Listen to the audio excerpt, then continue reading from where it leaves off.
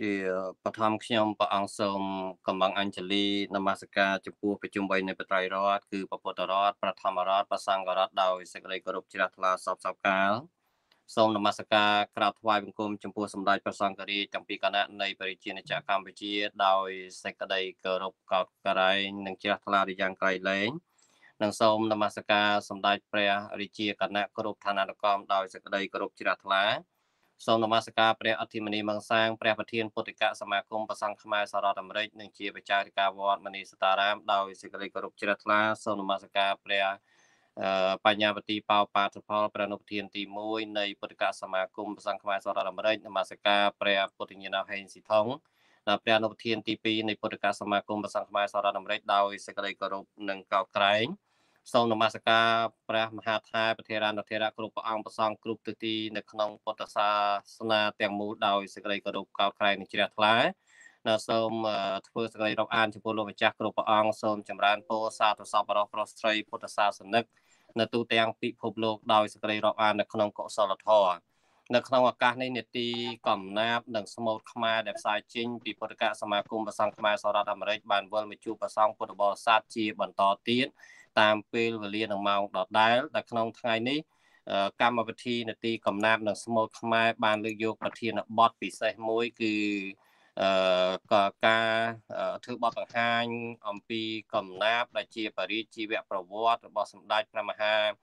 សុមេធាធិបតីជួតញ្ញណោជួនណាតប្រសង្ឃរាជថ្នាក់ទី1នៃបរិជាណាចក្រកម្ពុជាដែលព្រះអង្គទ្រង់បានសោយទុទាងគុតទៅជាង50ឆ្នាំមកហើយ នៅ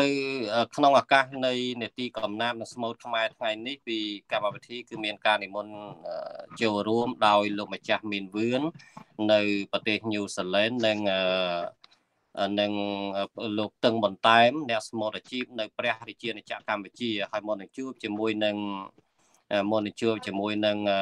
ការធ្វើបទបង្ហាញអំពីកំណាបដែលជាបរិជីវប្រវត្តិរបស់សម្ដេចព្រះសង្ឃរាជជួតញ្ញនជណាតសូម ពុទ្ធបរិស័ទសូមប្រសងពុទ្ធបរិស័ទជួបជាមួយនឹងប្រវត្តិមានលោកម្ចាស់មានវឿនដែលដែលកំពុងតែមានវត្តមានក្នុងផ្ទុកផ្សាយគណៈសូមនមស្ការលោកម្ចាស់មានវឿនដោយសេចក្តីគោរពពីចម្ងាយ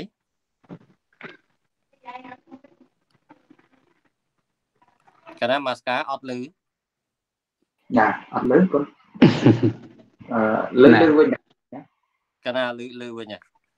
គណៈសូមនមស្ការហើយថ្ងៃនេះលោកម្ចាស់មានប្រវត្តិមានចូលរួមនៅក្នុងនេតិកំណាពិសេសគឺប្រធានបទថ្ងៃនេះយើងលើកយកនៅប្រធានបទកំណាបដែលជាបរិជីវប្រវត្តិរបស់សម្ដេចព្រះសង្ឃរាជជួតញ្ញណោជួនណាដែលខ្ញុំអកាណាជាមួយនឹងញូមបាសកាវីរ៉ាបានតាក់តែងនិពន្ធឡើងហើយសម្រាប់ថ្ងៃនេះលោកម្ចាស់មានប្រវត្តិមានមានអារម្មណ៍ក៏ដូចជាមានការបង្ហាញ យ៉ាងណាដែរមានអារម្មណ៍យ៉ាងណាដែរហើយសូមធ្វើបទទេសនាមកណាសូមរដ្ឋនីកណាចឹងជាបឋមខ្ញុំប្រកាសថាសូមលំអរកាយក្រាបថ្វាយបង្គំពុគុណប្រតនត្រ័យទាំង3ដោយសេចក្តីគោរពដោយសេចក្តីជ្រះថ្លាក្រៃលែងនិងសូមនមស្ការក្រាបថ្វាយបង្គំចំពោះព្រះមន្ត្រីសង្ឃព្រះជាគណៈថ្នាក់កិត្តិយសព្រះរាជាគណៈគ្រប់គ្រប់ព្រះអង្គ តាមឋានានុក្រមតាមលំដាប់ថ្នាក់ព្រមទាំងនមស្ការចំពោះព្រះថេរានុធរៈគ្រប់គ្រប់ព្រះអង្គសូមចម្រើនតញាតិញោមបរិស័ទគ្រប់រូបទាំងអស់ដែលកំពុងតែតាមដានស្ដាប់ក៏ដូចជាមិនទាន់បានស្ដាប់ក្តីហើយបន្តនឹងការស្ដាប់នៅក្នុងមុខក្តីអញ្ចឹងក្នុងឱកាសពេលនេះគឺជាពេលវេលាដ៏ល្អមួយសម្រាប់ខ្ញុំកណាដែលមានកិត្តិយសដ៏ខ្ពង់ខ្ពស់ដោយបានអាការដោយបាន ចូលរួមនៅក្នុងកម្មវិធីផ្សាយពាក់ព័ន្ធទៅនឹងអត្ថបទកំណាព្យក៏ដូចជាពាក់ព័ន្ធទៅនឹងវប្បធម៌របស់ខ្មែរយើងដែលនឹងឆ្លុះបញ្ចាំងនៅក្នុងកម្មវិធីប្រធានបទក្នុងថ្ងៃនេះក៏ដូចជាថ្ងៃកន្លងក្តីអឹមសម្រាប់ខ្ញុំប្រកាសដែរមួយរយៈនេះក៏ខ្ញុំប្រកាសដែរមានភាពអឺរវល់ការងារជាចាំបាច់នៅក្នុងវត្តផងការងារផ្នែកខាងក្រៅជាមួយពុទ្ធសាសនាផង ហើយក៏មានការជួបប្រទះទៅនឹង COVID ទីនេះគឺ COVID ទើបតែនឹងអឺធូរស្បើយបន្តិចពីព្រោះសារមុនហ្នឹងមកជាងមួយអាទិត្យមុនគឺគេ lockdown នៅទីក្រុងសម្បូរគឺมันអាចទៅណាមិនណាបានហើយមួយទៀតក៏មានការសោកស្ដាយក្នុងប្រហែលថ្ងៃនេះគឺយើងដឹងទាំងអស់គ្នាថាប្រទេសកម្ពុជារបស់យើងក៏កំពុងតែជួប បញ្ហាធំគឺ COVID-19 ហ្នឹងគឺកំពុងតែរាតត្បាតទៅតាមបណ្ដាសង្គមសហគមន៍រកទៅតាមខេត្តនានាអញ្ចឹងក្នុងនាមខ្ញុំបកណាជាកូនខ្មែរមួយរូបទោះបីមកដល់ស្រុកគេរស់នៅសបោសបាយការឆាន់អីក៏អ្វីផ្សេងផ្សេងល្អប៉ុន្មានប៉ុន្តែក៏នៅតែមានការនឹករលឹកក៏នៅតែមានការព្រួយបារម្ភចំពោះសាច់ញាតិបងប្អូនប្រជាពលរដ្ឋខ្មែររបស់យើង ពីព្រោះថាយើងមួយរយៈនេះ COVID ប្រទេសនីមួយៗគឺរងគ្រោះធំធំធ្ងន់ធ្ងរមែនទែនទូយ៉ាងដូចជាសហរដ្ឋអាមេរិកដែលលោកគ្រូនៅទីនោះបានជ្រាបស្រាប់ហើយខ្ញុំបណ្ណានៅញូហ្សេឡង់នេះมันសូវជាធ្ងន់ធ្ងរទេណាតិចតួចតិចតួចគឺគេទប់បានល្អបានលឿនណាហើយតម្លៃយើងស្រុកខ្មែរហ្នឹងក៏កំពុងតែប្រកាសអាសន្នក៏ដូចជាបងប្អូនខ្មែរយើងក៏កំពុងព្រួយបារម្ភជាច្រើន អញ្ចឹងមានតែការប្រាំផ្ញើទៅដល់បងប្អូនខ្មែរយើងទាំងអស់ដែលជាសាច់ញាតិក្តីជាមិត្តធម៌ជាមិត្តរាប់អានទាំងអស់គ្នាជាជាពលរដ្ឋទូទាំងព្រះរាជាណាចក្រកម្ពុជាណាជួយថែរក្សាទាំងអស់គ្នាណាការពារទាំងអស់គ្នាដើម្បីជៀសផុតអំពី COVID-19 ទាំងអស់គ្នាហើយខ្ញុំបណ្ដាថ្ងៃនេះក៏មានកិត្តិយសហើយក៏សូមអរគុណច្រើនសម្រាប់លោកគ្រូកៅសវឿន ដែលព្រះអង្គជាប្រធានចាត់ចែងក្នុងកម្មវិធីនេះកណាខ្ញុំកណាសូមមានពាក្យពេចន៍ប៉ុណ្ណេះទៅកាន់បងប្អូនយើងកណាសូមអរគុណកណាសូមកណាសូមអរគុណលោកម្ចាស់មានវឿនដែលមកពីនិមន្តចូលរួមនៅសពបច្ចុប្បន្នគង់នៅ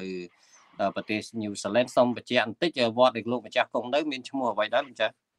អឺខ្ញុំកណាគង់នៅនេះមានវត្តនេះឈ្មោះថាវត្តខ្មែរពុទ្ធិរាមកណាកណាវត្តខ្មែរពុទ្ធិរាម នៅទីក្រុងអក្លិនកណាវត្តខ្មែរពុទ្ធិរាមកណាកណាអរគុណជាថ្មីចំពោះការចូលរួមហើយឥឡូវនេះយើងសូមបង្វែរទៅជួបជាមួយនឹងលោកតឹងបន្តែមដែលជាអឺជាអ្នកជាវាគ្មិនក៏ដូចជាអ្នកស្មូតអាចនិយាយថាប្រចាំហើយសម្រាប់កម្មវិធីនីតិកំណាបរបស់អឺដែលផ្សាយចេញពីពុទ្ធកសមាគមប្រសង់ផ្នែកសាររដ្ឋអាមេរិកហៅកាត់តពោសសកពោសសខឬក៏ CBMS គឺថាលោកបន្តែមជាវាគ្មិនម្នាក់ក៏ដូចជាអ្នកស្មូតម្នាក់ដែលបានចូលរួមញឹកជាងគេញឹកជាងគេអញ្ចឹងសូមលោកបន្តែមว่าធ្វើបទទេសនាមខ្លួនបន្តិចថ្ងៃនេះមានអារម្មណ៍យ៉ាងណាដែរហើយថ្ងៃនេះគឺយើងលើកយកប្រធានបទអឺកំណាបដែលជា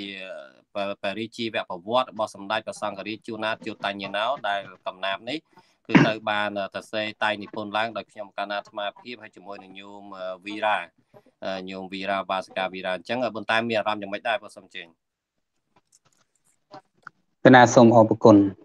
ជាបឋមខ្ញុំប្រកាសរណាសូមក្រាបថ្វាយបង្គំចំពោះបរតនត្រ័យទាំង3ដោយសេចក្តីគោរពជ្រះថ្លាពងពោះនិងសូមក្រាបថ្វាយបង្គំចំពោះសម្ដេចព្រះរាជាគណៈព្រះថេរានុត្រៈគ្រប់ព្រះអង្គជាទីសក្ការៈពងពោះព្រមទាំងក្រាបថ្វាយបង្គំចំពោះព្រះប្រធានពុទ្ធិកសមាគមព្រះសង្ឃខ្មែរសហរដ្ឋអាមេរិកជាទីសក្ការៈខ្ពង់ខ្ពស់និងសូមក្រាបថ្វាយបង្គំចំពោះព្រះអង្គគ្រូព្រះអនុធានទី1ព្រះអនុធានទី2ព្រមទាំងព្រះសហការីគ្រប់គ្រប់ព្រះអង្គទាំងអស់ជាទីសក្ការៈខ្ពង់ខ្ពស់និងសូមក្រាបថ្វាយបង្គំចំពោះព្រះអង្គគ្រូរតនជោតោកែវសវឿន ជាទីសក្ការៈពងពោះនិងសូមក្រាបថ្វាយបង្គំចំពោះព្រះអង្គគ្រូមានវឿនជាទីសក្ការៈពងពោះដែលព្រះអង្គមានប្រវត្តិមាននៅក្នុងបន្ទប់ផ្សាយនេះនិងសូមគោរពដល់អាដាមលោកជំទាវលោកញ៉ាលោកលោកស្រី ប្រិយមិត្តសពបរោះប្រុសស្រីដែលរស់នៅក្នុងប្រទេសនិងក្រៅប្រទេសជាទីគោរពរាប់អាន នៅក្នុងឱកាសពេលនេះ ខ្ញុំបកណាខ្ញុំបាទមានសេចក្តីសោមនស្សរីករាយ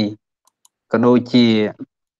មានកិត្តិយសដែលព្រះអង្គគ្រូរតនជោតោកែសវឿនដែលព្រះអង្គអ្នកសម្របសម្រួលតែងតែឲ្យខ្ញុំបកណាខ្ញុំបាទចូលរួមជាវិក្មិនបកស្រាយនៅកំណាព្យផ្សេងផ្សេងនៅក្នុងនទីកំណាព្យខ្មែរដែលផ្សាយចេញពីเพจពុទ្ធិកសមាគមសង្ឃខ្មែរសហរដ្ឋអាមេរិកហើយក៏ជា សេចក្តីសប្បាយរីករាយមួយដែរដែលខ្ញុំកណ្ណាខ្ញុំបាទចូលរួមនេះក្នុងថ្ងៃនេះគឺនិយាយអំពីព្រះរាជជីវប្រវត្តិរបស់សម្ដេចសង្ឃរាជជូណាតជោទញ្ញាណោសង្ឃរាជជូណាតជោទញ្ញាណោជូណាតកណាហើយព្រោះកន្លងមកកម្មវិធីនៅតាមបណ្ដាវត្តអារាមក៏ដូចជាកម្មវិធីផ្សេងផ្សេងដែលធ្វើបុណ្យ រំលឹកនៅខួបរបស់សម្ដេចខ្ញុំកណាដែលបានចូលរួមទេ តែដល់ក្នុងកម្មវិធីនេះគឺមានការនិពន្ធដោយអង្គគ្រូរតនជោតោកែវសវឿនក៏ដូចជាឧបាសិកាវីរាក៏គាត់បានតាក់តែងអំពីព្រះរាជាជីវៈប្រវត្តិសម្ដេចព្រះមហាសុមេធាធិបតីជោទញ្ញាណោជូនាតចឹងខ្ញុំបកណាខ្ញុំបាទពិតជាមានសេចក្តីរីករាយ ហើយសម្រាប់ស្ថានភាពបច្ចុប្បន្ននៅឯកម្ពុជានេះវិញដោយព្រះអង្គគ្រូមានវឿនមានព្រះសង្ឃដីកាហើយគឺថានៅខ្មែរយើងនេះ កំពុងតែវឹកវវវឹកដែរលោកគ្រូណាហើយក៏មាន បាត់បង់ជីវិតម្នាក់ដោយក្តីថ្លែងការចេញពីហ្នឹងហើយណាឃើញដូចមានស្លាប់ម្នាក់ហើយមួយទៀតប៉ុន្តែមើលគណៈមានស្លាប់នៅស្រុកអាត្មាតែម្ដងដែលឃើញ ត្រូវបានគេចាប់បង្ខាំងទុកក្នុងចាត់តាល័យស័កហ្នឹងរាប់ពាន់នាក់ណាណានៅស្រុកកធំហ្នឹងនៅស្រុកកធំខាងជ្រៃធំហ្នឹងកណាណាដល់អញ្ចឹងមានការភ័យភិតទាំងខ្ញុំកណាខ្ញុំបាទជីវិតប្រចាំថ្ងៃនេះគឺកំពុងតែហាក់ដូចជារស់នៅក្នុងសម្ពាធនៃមេរោគនេះធ្វើឲ្យ ការធ្វើដំណើរក្តីឬក៏ទៅផ្សារទៅដើម្បីប្រកបមុខរបរអាជីវកម្មផ្សេងផ្សេងក្តីមានការភ័យភិតហើយក៏ដូចជាមានវិបត្តិនៅក្នុងសេដ្ឋកិច្ចក៏ដែរអញ្ចឹងទៅខ្ញុំកណាខ្ញុំបាទមានការព្រួយបារម្ភណាយ៉ាងខ្លាំងនៅក្នុងវិរិយានចក្រកម្ពុជាប៉ុន្តែសម្រាប់សុខភាពដូចជាមិនមិនអីទេលោកគ្រូណាប្រកក្តីទេកណាសូមអរគុណនិងសូមអរគុណកណាបាទ ហ្នឹងហើយសូមអរគុណបន្តែមដែលបានចូលរួមត្បិតតែ មានការមមាញឹកការងារផ្ទាល់ខ្លួនក៏ដូចជាស្ថានភាពកូវីដមានការព្រួយបារម្ភយ៉ាងណា ទាំងខ្ញុំកណាអាត្មានៅអាមេរិកក៏ដូចជាលោកម្ចាស់មានវឿននៅខាងញូហ្សេឡង់ហ្នឹងក៏ដូចគ្នាមែនតើគ្រប់ប្រទេសប៉ុន្តែ ក្នុងអំឡុងពេលថ្មីថ្មីនេះនៅកម្ពុជាយើងកំពុងតែមានការ រីករាលដាលក៏ដូចជាអាចថារហូតដល់ឥឡូវនេះគឺមានប្រហែលថ្ងៃមុននេះគឺមានអ្នកស្លាប់ម្នាក់ដែរហើយដែលអំពីកូវីដហ្នឹងប៉ុន្តែវ៉ាក់សាំងក៏ឃើញថាបានទទួលខ្លះខ្លះហើយនៅអាមេរិកហ្នឹងក៏បានទទួលច្រើនមកដែរហើយខ្ញុំកណាថ្មបានវ៉ាក់សាំងម្ដងហើយដែរនៅថ្ងៃ30នេះគឺទទួលវ៉ាក់សាំងលើកទី2 ហើយជាមួយនឹងស្ថានភាពពិភពលោកដែលកំពុងតែជួបប្រទះយ៉ាងនេះក៏ដោយក៏ពីពុទ្ធិកសមាគមប្រសង់ខ្មែរសហរដ្ឋអាមេរិកក៏មិនបានភ្លេចជាមួយនឹងព្រឹត្តិការណ៍ដ៏សំខាន់មួយគឺថ្ងៃ11ខែមីនាណាព្រឹត្តិការណ៍ថ្ងៃ11ខែមីនានេះគឺជាព្រឹត្តិការណ៍ដ៏សំខាន់មួយដែលសម្ដេចព្រះសង្ឃរាជជូតញ្ញណៅជួនណាតបានប្រសូត ហើយសម្ដេចព្រះសង្ឃរាជជួនណាតគឺបានសោយទីបង្គត់ទៅហើយនៅក្នុងឆ្នាំ1000នៅក្នុងថ្ងៃទីថ្ងៃទី29ខែកក្កដាសូមអធិស្ឋាននេះនៅក្នុងថ្ងៃទី25ខែកញ្ញា ឆ្នាំ1000 969ណាឆ្នាំ1969នៅខែកញ្ញាថ្ងៃទី25ហ្នឹងគឺ សម្ដេចព្រះសង្ឃរាជបានសោយទីបង្គត់ហើយថ្ងៃដែលលោកប្រសូតគឺនៅថ្ងៃ11ខែមីនាណា11ខែមីនាដូច្នេះហើយគឺពីពុទ្ធកសមាគមប្រសង់ខ្មែរសហរដ្ឋអាមេរិកក៏មិនបានភ្លេចនៅព្រឹត្តិការណ៍នោះគឺយើងបានប្រជុំឯកភាពគ្នាហើយរៀបចំបង្កើតទិវាទិវារំលឹកហៅថាទិវាសម្ដេចព្រះសង្ឃរាជជួនណា11មីនាយើងអានមីនាបន្តែ ពាក្យមីនានេះគឺបើយើងមើលតាមរូបស័ព្ទអក្សរគឺគួរតែអានមីនីណាមីនីគណាដោយសារតែណូគឺជាព្យញ្ជនៈខោស័កហើយណូក៏ជាព្យញ្ជនៈខោស័កមានសម្លេងអូគួរតែអានមីនីក៏ប៉ុន្តែទី1នៅក្នុងចំនួនខែទាំងអស់ត្រូវបានអានដូចជាមករាកុម្ភៈមីនាមករាកុម្ភៈមេសាឧស អីចឹងទៅគឺដោយសារតែភាកច្រើនគឺសាអាហើយដែលចឹងទៅខ្មែរយើងបានអានពាក្យមីនីមីនីទៅជាមីណាដោយច្រើនហើយចឹងទៅក៏សម្ដេចព្រះសង្ឃរាជជួនណាតបានកំណត់ឲ្យថាដើម្បីឲ្យឯកភាពនេះអានថាមីណាទៅហើយក៏ចាត់ពាក្យនេះចូលទៅនៅក្នុងអញ្ញត្រស័ព្ទអញ្ញតស័ព្ទហ្នឹងគឺជាប្រភេទក្រុមពាក្យមួយដែលมันមានក្បួនវេយ្យាករណ៍ច្បាស់លាស់ជាពាក្យមួយទៅថាឃើញរូបផ្សេងអានផ្សេងប៉ុន្តែ ដោយយើងឧទាហរណ៍អ្នកអ្នកណូអជាងណូអង្គអានថាអ្នកគួរតែអានថាអណូអីចឹងណាប៉ុន្តែគេអានថាអ្នកហើយបែបហ្នឹងហើយគេចាត់ថាជាអញ្ញត្រស័ព្ទណាអញ្ញត្រស័ព្ទគឺអញ្ញត្រៈហ្នឹងគឺដតេដោយឡែក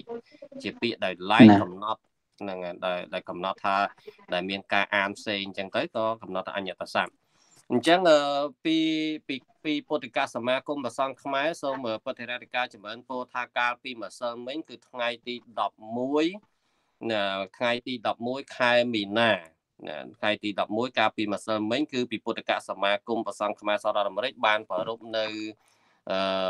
ទិវាសម្ដេចព្រះសង្ឃរាជជួនណាតសឹងតែគ្រប់អាចនិយាយថាគ្រប់វត្តនៅទូទាំងអាមេរិក ប៉ុន្តែការប្រារព្ធនោះគឺថាមានលក្ខណៈជាឯកជនផងហើយមានលក្ខណៈជារួមផងជារួមគឺយើងធ្វើតាមបណ្ដាញអន្តរបណ្ដាញគឺ Facebook Live តាមកម្មវិធី Zoom គឺយើងបានធ្វើតាំងពីម៉ោង7ម៉ោង7ល្ងាចរហូតដល់ម៉ោង12រំលងអាត្រាកាលពីម្សិលមិញហើយ deadline នៅថ្ងៃនេះគឺថ្ងៃសុក្រ14រោចថ្ងៃសុក្រ14រោចខែប្រគុណឆ្នាំជូត ទស័កពុទ្ធសករាជ2564ត្រូវនៅថ្ងៃទី12ខែមីនាឆ្នាំ2021អញ្ចឹងហើយបានជាថ្ងៃនេះយើងលើកយកកំណាព្យដែលជាបរិយាជីវប្រវត្តិសម្ដេចព្រះសង្ឃរាជជួតតញ្ញណៅជួនណាតដែលខ្ញុំកណាអាត្មាភាពហើយជាមួយនឹងញោមឧបាសិកាវីរ៉ាបានតាក់តែងនិពន្ធឡើងគឺជាបទពាក្យ7 ឥឡូវនេះជាការចាប់ដើមសូមឱកាសដើម្បីបានអាននៅកំណាព្យខ្លះហើយបន្ទាប់មកលោកម្ចាស់មានវឿនក៏បានលោកបន្តាមក៏បានស្មូតខ្ញុំកណាអាត្មាអានអាចថា4 5ល្បះឬក៏10ល្បះតែម្ដងក៏បានមកដល់5ល្បះដំបូងសោះកណា5សិនចុះ5ល្បះដំបូងបន្ទាប់មកលោកម្ចាស់មានវឿនអាចស្មូតហើយ5ល្បះបន្ទាប់ទៀតខ្ញុំកណានឹងអានបន្ទាប់មក បន្តែមអាចស្មូតទៀតទៅហើយយើងនឹងជជែកគ្នាពិភាក្សាគ្នាខ្លះអំពីអត្ថន័យនៅក្នុងកំណាព្យនោះហើយសូមអភិអធិស្ឋានទុកជាមុនដែរកំណាព្យដែលជាបរិជ្ជជីវប្រវត្តិនេះគឺអាចនឹងមានកលែងលៀងចង់ជួនខ្លះដោយសារតែជាការតែងអំពីប្រវត្តិហើយប្រវត្តិរបស់សម្ដេចក៏ដូចជាឈ្មោះទីតាំងឈ្មោះឋានន្តរស័ក្តិឈ្មោះប្រឧបជាឬក៏ឈ្មោះអីផ្សេងផ្សេងទៀតគឺយើងមិនអាច តម្រូវទៅតាមចុងជួនហើយដូរពាក្យទេដូរពាក្យឲ្យខូចពាក្យហ្នឹងអញ្ចឹងទៅគឺថាក្នុងការតែងនិពន្ធអំពីប្រវត្តិគឺតែងតែមានការលៀងខ្លះទោះបីជាកវីនិពន្ធជំនាញពីបុរាណមកក៏តែងតែប្រើប្រាស់បែបហ្នឹងដែរអញ្ចឹងសូមអនុញ្ញាតអធិស្ឋានទុកជាមុនក្នុងការដែលបាត់ចុងជួនខ្លះ កំណាព្យនេះដាក់ចំណងជើងថាព្រះរាជាវប្រវត្តិសម្ដេចព្រះមហាសវេធាធិបតីជោតញ្ញណោជួនណា ជាបទពាក្យ7អឺខ្ញុំកណាថ្មពីសុំអានដូចតទៅ អ្នកប្រាជ្ញខ្មែរមួយដ៏អស្ចារ្យព្រះមហាសុមេធាធិបតីជោតញ្ញណោជួនណាតល្បីសម្ដេចសង្ឃនៃកម្ពុជាទ្រង់ប្រសូតថ្ងៃ11រោច រនោយផលគុណថ្ងៃអង្គារឆ្នាំវោឆស័កពុទ្ធសកជា2427ត្រូវថ្ងៃ11ខែមីនាត្រូវថ្ងៃ11ខែមីនារាប់ថាកំណើតនៃមុនីមុនីនេះគឺអ្នកប្រាជ្ញ1800សោភីគ្រប់80គ្រប់ទីប្រាកដណាស់ ភូមិកំរៀងនៃសង្កាត់រការកោះស្រកងពិសីច្បាស់ខេត្តកំពង់ស្ពឺលឺល្បីណាស់បៃតាអម្ចាស់នាមព្រំជួនមេដានាមយុជាកសិករបន្តមានបត់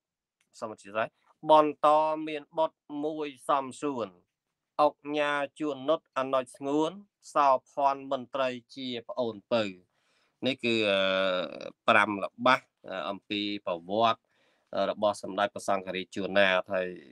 មុននឹងជជែកពិភាក្សាគ្នាសូមប្រគេនឱកាសលោកម្ចាស់មានវឿនដើម្បីបានស្មូតជាបែបបត់អ្វីតាមដែលលោកម្ចាស់ពេញចិត្តគណៈសូមរតនី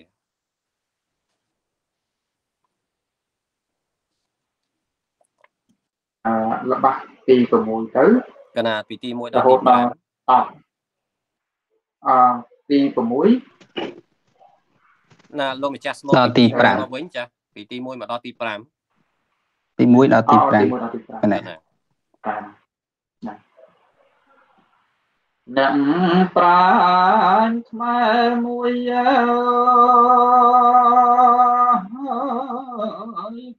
ដល់អស់ចា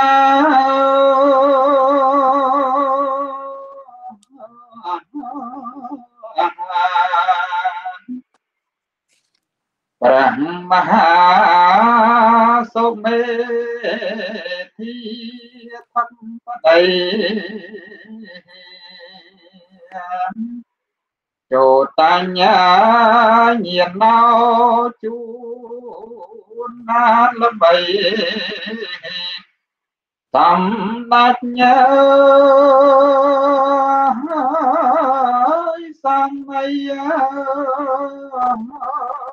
យអើយកម្ពុជាត្រង់ប្រសូនថ្ងៃអើ11រោចញើ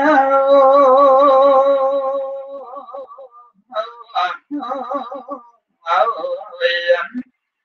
រណូនផលគុណថ្ងៃអង្គទេ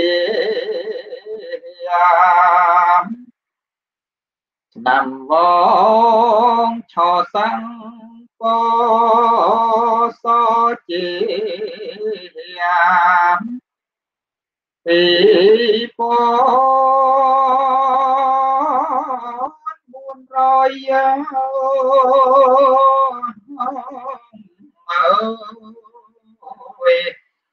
25ปีត្រូវថ្ងៃ11ខែមីនា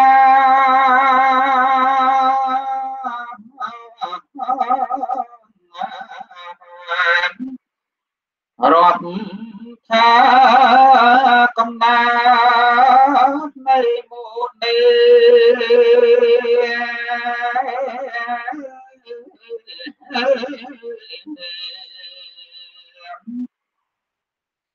មួយពាន់800សោភិ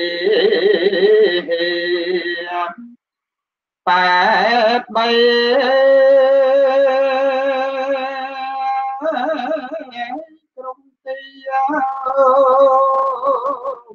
អើយប្រាកដណាស់ភូមិកំ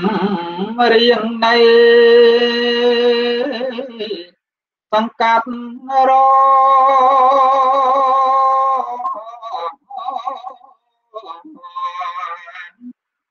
ការកោះស្រុ កកងពីស័យច្បាស់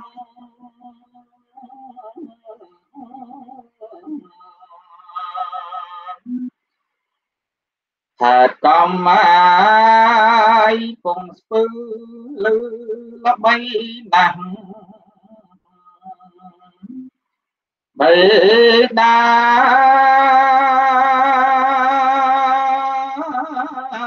អម្ចាស់អើ យនាមព្រំជួនមេដានាមយុជាកាំងសិក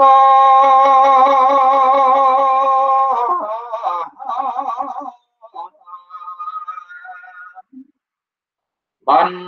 បន្តមានបត់ មួយសំសួរ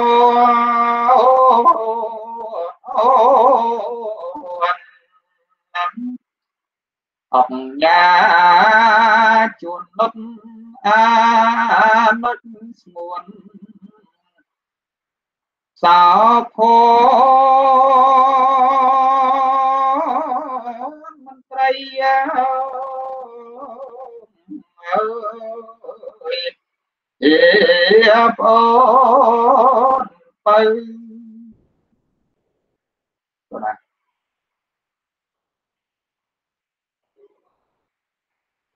អញ្ចឹងខ្ញុំបណ្ដាបានស្គាល់ស្វាគីមក5ល្បះ5ឃ្លាកណាមុន5 អឺនេះគឺតកតងទៅនៅក្នុង5ល្បះនេះគឺរៀបរាប់អំពីអ្នកប្រាជ្ញរបស់ខ្មែរយើងដ៏អស្ចារ្យគឺសម្ដេចព្រះសង្ឃរាជជួនណាតហើយអំពី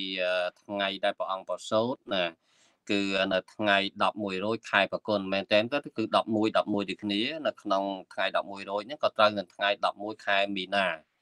កណាហើយខែប្រគុណមុនចូលឆ្នាំ ហើយគឺ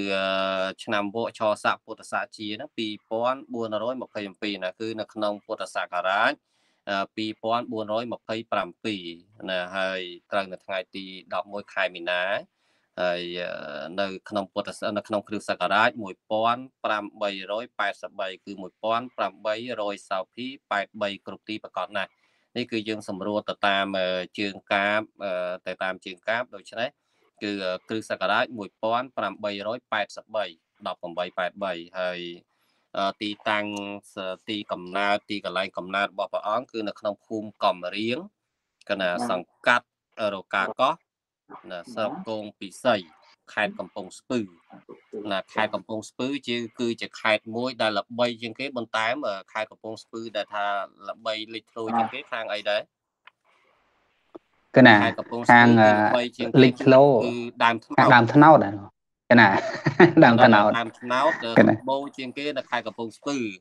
ប៉ុន្តែក្រោយពីមានវត្តមានសម្ដេចព្រះសង្ឃរាជជួនណាតបានសិក្សារៀនសូត្រប៊ូឲ្យបានសិក្សារៀនសូត្របានคล้ายជាបណ្ឌិតជាអ្នកប្រាជ្ញដែលត្រូវបានទទួលស្គាល់ទាំងក្នុង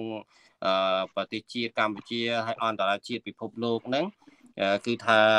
ខេត្តកំពង់ស្ពឺក៏ល្បីថាទៅគឺជាទឹកដីកំពូលអ្នកប្រាជ្ញណាគណាគឺជាទឹកដីកំពូលអ្នកប្រាជ្ញណាមានន័យថាខេត្តកំពង់ស្ពឺហ្នឹងគឺជាទឹកដីនៃនៃអង្គប្រាជ្ញល្បីគឺសម្ដេចព្រះសង្ឃរាជជួនណាតហ្នឹងកណាហើយ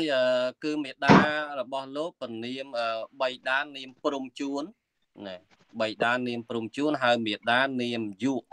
ជាកសិករតកូលកសិករហើយសម្ដេចព្រះសង្ឃរាជជួនណាត មានប្អូនប្រុសពៅម្នាក់គឺ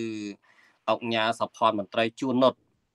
ហើយតាមប្រវត្តិទៅអុកញ៉ាសផនមន្ត្រីជួននុតហ្នឹងមែនតើជាប្អូនបង្កើតប្អូនពៅបង្កើតហើយតាមមែនតើក៏ជាគ្រូរបស់សម្ដេចព្រះសង្ឃរាជមួយអត់មួយនាក់ដែរណាមានតែទៅគឺសម្ដេចប្រសង្ឃរាជជួនណាតហើយនឹងសម្ដេចហួតតាត គឺធ្លាប់រៀនភាសាបារាំងពីពីជួននុតនឹងពីអង្គញាសភមន្ត្រីជួននុតនឹងអញ្ចឹងអឺមែនតើយើងបានសិក្សាមានមានសំណួរមួយមានបញ្ហាមួយតែតែតែងតែចោទឡើងបន្តែមក៏ដូចជាលោកម្ចាស់ប្រហែលជាលោកម្ចាស់បានគឺឡាប់បានដឹងហើយគឺថាមានចម្ងល់មួយសួរថានៅក្នុងសម័យបារាំងគឺនៅក្នុងសម័យដែលព្រះអង្គរៀនគឺសម័យបារាំងណា សម័យប្រាក់ពីព្រោះយើងបានទទួលឯករាជ្យនៅក្នុងឆ្នាំ1953នេះតាអញ្ចឹងនៅក្នុងសម័យនេះគឺសម័យបារាំងពេញទីហើយហេតុអីបានព្រះអង្គសិក្សាចេះដឹងច្រើនម៉េះមែនតើព្រះអង្គរៀនអំពីប្អូនពៅរៀនអំពីមិត្តភ័ក្តិផ្សេងផ្សេងព្រះអង្គរៀនអំពីគ្រូលវីហ្វីណូសកស្ដេរៀនអំពីមនុស្សជាច្រើនព្រះអង្គរៀនអំពីកលឹងជនជាតិឥណ្ឌាដើរលក់សម្ភារៈក្នុងវត្តហ្នឹងក៏ព្រះអង្គរៀនជាមួយណា កណាមែនតើទៅគឺថាមនុស្សប្រភេទអីក៏ដោយឲ្យតែចេះអីគឺថាព្រះអង្គដឹងព្រះអង្គរៀនជាមួយហ្មងអ្នកណាចេះកោតោព្រះអង្គឲ្យពងៀនកោតោនឹងទៀតហ្នឹងនេះគឺជាអ្វីដែលដែលថាហេតុអីបានបានជាសម្លាយប្រសងរាជជួនណាតហ្នឹងគឺចេះម៉េះហើយដល់ដល់ចំណុចត្រង់ហ្នឹងខ្ញុំកណាអាត្មានឹកឃើញដល់ពាក្យរបស់អ្នកប្រាជ្ញល្បីម្នាក់គឺលោកអឺអ្នកប្រាជ្ញទស្សនវិទូរបស់ចិនណាខុងជឺនៅ ខុងជឺគាត់ថាអញ្ចេះគាត់ថាប្រហែលជាមុនតើធ្លាប់ឮអត់ទេគាត់ថាក្នុងចំណោមមនុស្ស3នាក់មានម្នាក់អាចជាគ្រូរបស់យើងគាត់និយាយអញ្ចឹងណាហ្នឹងហើយអញ្ចឹងមានន័យថារឿងដែលយើងត្រូវរៀនច្រើនតែយើងរៀនអំពីមិត្តភ័ក្តិអំពីសិភៅអំពីគ្រូអំពីម៉ែឪអំពីសង្គមយើងរៀនច្រើននេះគឺជាហេតុផលដែលគាត់ណាសម្ដេចព្រះសង្ឃរាជជួនណាតបានបានចេះដឹងច្រើនខ្លាយជាកម្ពុជាអ្នកប្រាជ្ញនេះគឺដោយសាររឿងហ្នឹង អញ្ចឹងវិលមកដល់ត្រង់ហ្នឹងគឺមានមានអ្វីបន្ថែមទេក្នុងអ្វីដែលអាត្មាបានលើកឡើងបន្ថែមក៏ដូចជាលោកម្ចាស់កណាណាណាសូមណាសូមមានមតិត្រង់ចំណុចហ្នឹងនឹកឃើញដល់លោកគ្រូមានសង្ឃិកាសម្ដេចសង្ឃរាជយោធិញណោជួនណាតអ្វីត្បិតតែសម្ដេចនិយាយថាសម្ដេចអឺទោះជាសម្ដេចជាព្រះរាមឬក៏ជាបងមេតក៏ប៉ុន្តែ ចំណេះវិទ្យាគឺអត់មានបងមានប្អូនទេណាកាលណាតែមិនចេះអីគឺត្រូវទៅរៀននឹងហើយអ្នកដែលចេះនោះទោះជាប្អូនក៏ដោយក៏ក៏អាចទៅក្រេបចំណេះវិជ្ជាពីពីអ្នកនោះបានដែរជាក់ស្ដែងដូចព្រះអង្គគ្រូមានសង្ឃនិកាអញ្ចឹងសម្ដេចសង្ឃរាជជួនណាតរៀនភាសាបរទេសភាសាបារាំងហ្នឹងពីអឺសោភ័ណ្ឌមន្ត្រីជុនុតហ្នឹងអញ្ចឹងខ្ញុំកណ្ដាលនឹកឃើញថាដូចខ្ញុំកណ្ដាលខ្ញុំបាទអញ្ចឹង ទោះជាខ្លួនឯងមានវ័យប៉ុណ្ណឹងក៏ដោយអឺមានអ្នកខ្លះគាត់ដូចថាវ័យប្អូនជាងខ្ញុំកណ្ដាខ្ញុំបាទក៏ខ្ញុំកណ្ដាខ្ញុំបាទអាចទៅក្រេបចំណេះវិជ្ជាពីអ្នកនោះបានដែរមិនមានមុនមានក្រោយទេរឿងចំណេះវិជ្ជាគ្រូតែបើវ័យអាចនិយាយថាមុនក្រោយបានឬក៏យើងនិយាយថាបើប្រសង់វាសាអាចមានមុនក្រោយបានប៉ុន្តែមិនប្រកាសថាបួសមុននឹងចេះ ចេះជាងអ្នកបួសក្រោយទេអញ្ចឹងអាចទៅរៀនពីអ្នកបួសក្រោយក៏មានដែរគណៈខ្ញុំគណៈសូមចូលរួមចំណុចហ្នឹងដើម្បីចែករំលែកដល់សង្ឃឬក៏បងប្អូនទាំងអស់ដែលខ្ញុំណាខ្ញុំបាទទោះជាវ័យប៉ុណ្ណឹងក៏ដោយក៏ប៉ុន្តែមានការសិក្សាបន្ថែមស្វែងយល់ពីសង្គមខ្លះពីបងប្អូនប្អូនខ្លះពីបងបងខ្លះអញ្ចឹងមិនមិនប្រកាន់នៅនៅវ័យទេគឺចាត់ទុកថាដោយព្រះអង្គមានសង្ឃនិកាថាអ្នកណាក៏អាចធ្វើគ្រូបានដែរសូម្បីតែ កូនក្មេងកណាសូមអរគុណបាទនឹងអរគុណច្រើនបន្ថែមឥឡូវនេះមុននឹងយើងបើជជែកបន្តយើងខ្ញុំកណាអាត្មាអានបន្តអំពីខ្លឹមសារកំណាព្យហើយបន្ទាប់មកបន្តែមស្មូតហើយបន្ទាប់អំពីបន្តែមស្មូតហើយយើងនឹងពិភាក្សាគ្នាទៅលើខ្លឹមសារនៅក្នុងកំណាព្យដែលស្ដីអំពីប្រវត្តិរបស់សម្ដេចព្រះសង្ឃរាជអញ្ចឹងសូមអានពីលបាសទី6តទៅ កាលព្រះជន្មបាន12ឆ្នាំបៃតាផ្ញើផ្ដាំឲ្យស្នាក់នៅនឹងគ្រូសោតស្ដាំចេះជ្រាជ្រៅកែមមគង់នៅវត្តពលយមសង្កាត់រលាំងកែនដែនដីស្រុកត្រង់នេះលើសលើសមួយព្យាងដូច្នេះហើយយើងអានរៀងកញ្ឆក់បន្តិចសង្កាត់រលាំងកែនដែនដីស្រុកកណ្ដាលស្ទឹងចាទុកក្នុងដែនព្រំណាកណ្ដាលស្ទឹងចាទុកក៏លើសមួយព្យាងដែរ កណ្ដាលស្ទឹងចាទុកក្នុងដែនព្រំខេត្តកណ្ដាលថ្នាលទីមនោរម14ឆ្នាំធំបួសសាមណេរក្រោយបួស2ឆ្នាំបងគុំលាគ្រូឧបជាដោយខ្នន់គ្នា ទៅវត្តអណាឡោមរៀននឹងគេ ភ្នំពេញល្អទ្វេថ្នាលសិក្សា នៅក្នុងសំណាក់នៃព្រះគ្រូទេពសោឲ្យស៊ូរៀនសបា24 43នៃពុទ្ធសាខំប្រឹងខ្លាំងក្លារៀនវិជ្ជាលោ20លោព្រះជន្ម21ឆ្នាំគ្រប់ទ្រង់បានសំឧបសម្បទាពុទ្ធខោសាចាជាឧបជាមាកេតគង់នីវត្តពោធិព្រឹកនេះគឺខ្លឹមសារ5លបាសបន្តហើយយើងមិនអានទៀតទេដើម្បីទុកឱកាសឲ្យអ្នកស្មូត បានស្មូតហើយយើងនឹងបន្តមកយើងនឹងពិភាក្សាគ្នាទៅលើបញ្ជាក់ឡើងវិញបន្ថែមអំពីបរិជីវប្រវត្តិដែលជាអត្តន័យនៅក្នុងកំណាព្យអញ្ចឹងសូមបន្ថែមមានកំណាព្យជាបទអ្វីដើម្បីស្មូតក៏សូមជើញ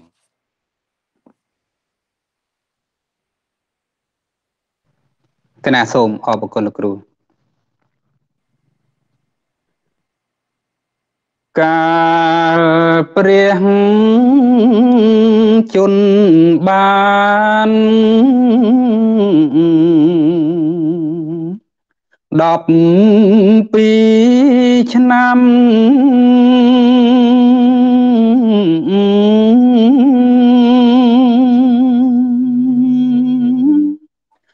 បីដាផ្ញើផ្ដាំ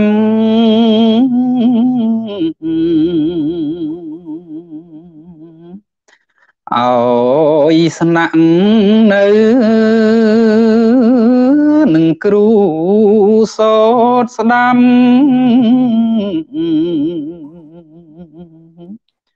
ចេះជ្រៀលជ្រៅ កែមគង់នៅវត្តពលយមសង្កាត់រលៀងកែតដែនដីស្រុក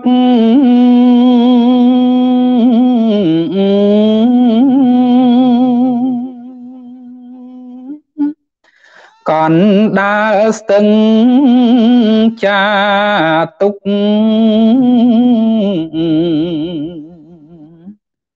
ក្នុងដែនព្រំខេត្តកណ្ដាលថ្នាទីមโนរម 14ឆ្នាំធំបួងសាមណេរក្រោយបួងពីឆ្នាំ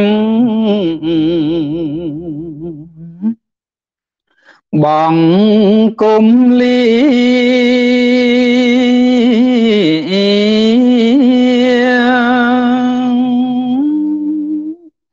គ្រូអុបបច្ឆីដោយខ្នន់គ្នាទៅវត្តអូនណាឡោរៀននឹងគេបំពេញល្អ នំពេញល្អទ្វេថ្នាសឹកសានៅក្នុងសំណាក់នៃព្រះគ្រូ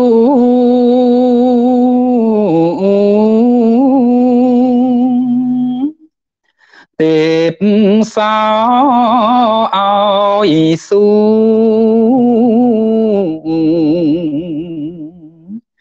រៀនសັບបា24សា3 នៃពុទ្ធសាខំប្រឹងខ្លាំងខ្លារៀនវិជ្ជាលុងព្រះជន់20មួយឆ្នាំគ្រប់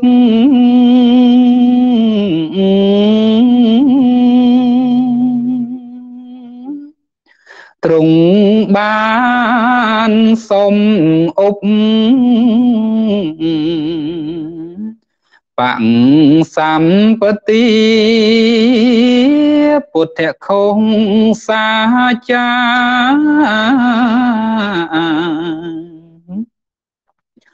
ជាអុបបច្ឆេមាកេតគង់នេះវត្តពោធិព្រឹកចូលតាញ់ញៀនណោនាមបញ្ញត្តិ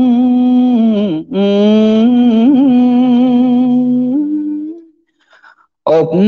បជាចាត់ល្អអង្ថឹកញៀនភ្លឺត្រចាស់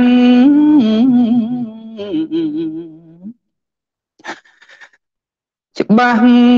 រលឹកជួនណាតនាមពិតនៃព្រះអង្គក្រោយឧបបសម្បត្តិហើយវិលវិញ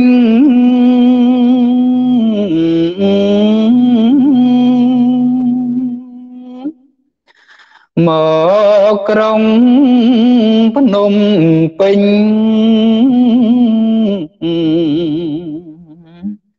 ដោយឈ្មោះត្រង់ឆន្ទៈមមួន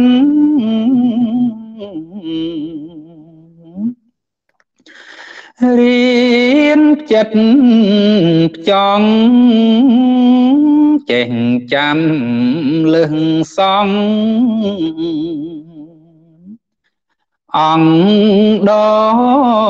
តីភាសាបាលីខ្មែរសំស្ក្រឹត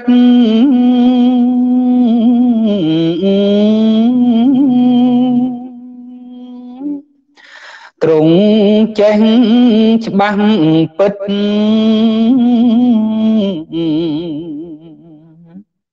ធ្លុងធ្លាយនៃមេសូតក្បួនវេយក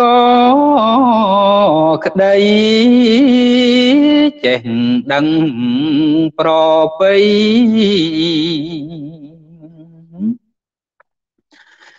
ប្រាជ្ញាច្បាស់អក្សរសង្ជាតិពាក្យពេចខ្មែរ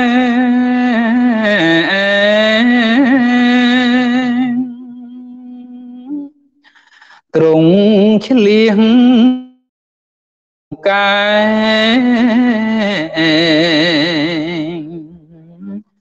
ចេះដឹងណាស់ផ្នែកវັບបញ្ធបូរាណចាស់យល់ច្បាស់ហេតុផល ស្គាល់សាវតាជាងនេះទ្រង់ចេះអង្គលេសថៃ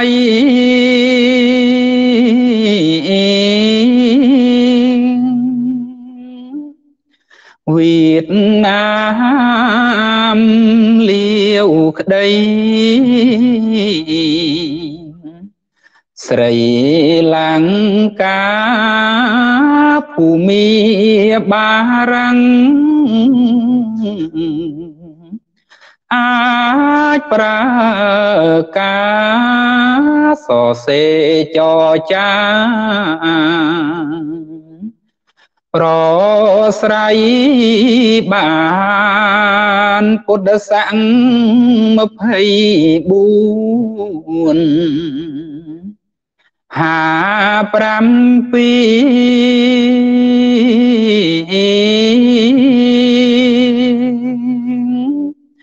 បានទីប្រយោគ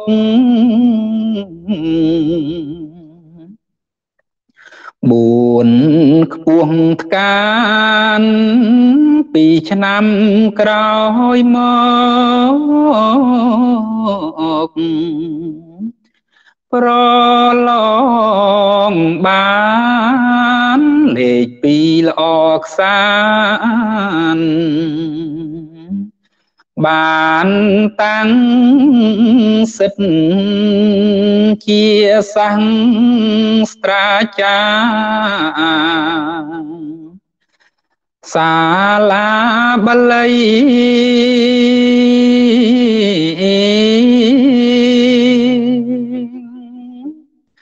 ជន់ខ្ពស់សពថ្ងៃមានឈ្មោះពិតពុទ្ធិកវិទ្យាល័យសុរាមរិទ្ធនេះពិតត្រង់បាន ដោយចំណេះកាលជាព្រះគ្រូសង្ស័តថា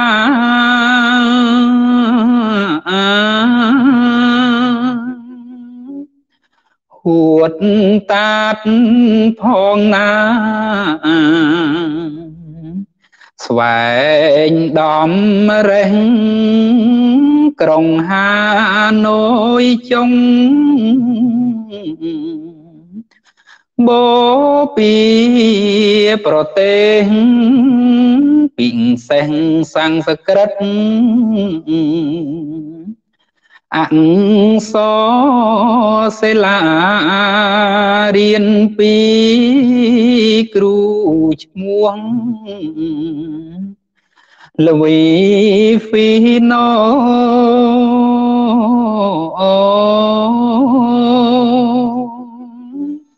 ដោយការតស៊ូ ដ៏ខ្លាំងក្លា24 65មួយពុទ្ធសាល្បីល្បាញប្រាជ្ញា ឆ្លៀងពូកែទ្រង់ជាសមាជិកនៃក្រុមជំនុំរៀបចំ តែងទៀងខ្មែរទ្រង់ជាលេខាផ្ទាល់ផងដែរខិតខំឥតលហើយកិច្ចប្រជុំជាសមាជិក ក្រុមពិនិត្យអង្គរាវិរុទ្ធមុនបោះពុំជាមេប្រយោគ កិច្ចការធំប្រឡងនៅភ្នំពេញជាស្ដែង24ចិត្តមួយនៃពុទ្ធស័ក្តិ ទទួលភារៈ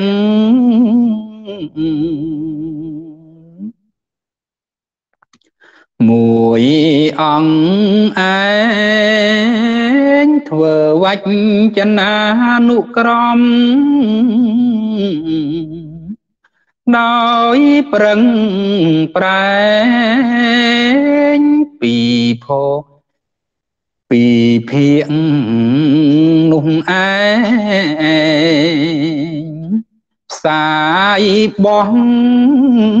ពុំ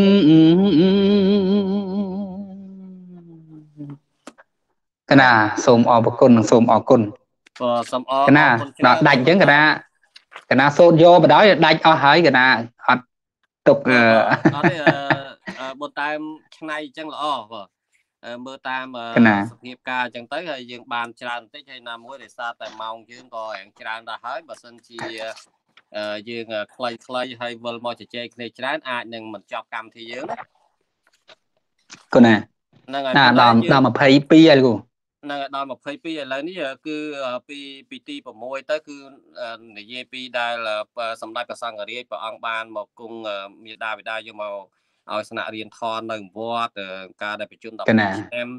ហើយស្នាក់នៅជាមួយលោកគ្រូកែមុំនៅវត្តពលយមហើយវត្តពលយមហើយនៅវត្តពោធិព្រឹកគឺជាឈ្មោះតែមួយទេគឺជាវត្តតែមួយទេវត្តឈ្មោះផ្លូវការពោធិព្រឹកហើយ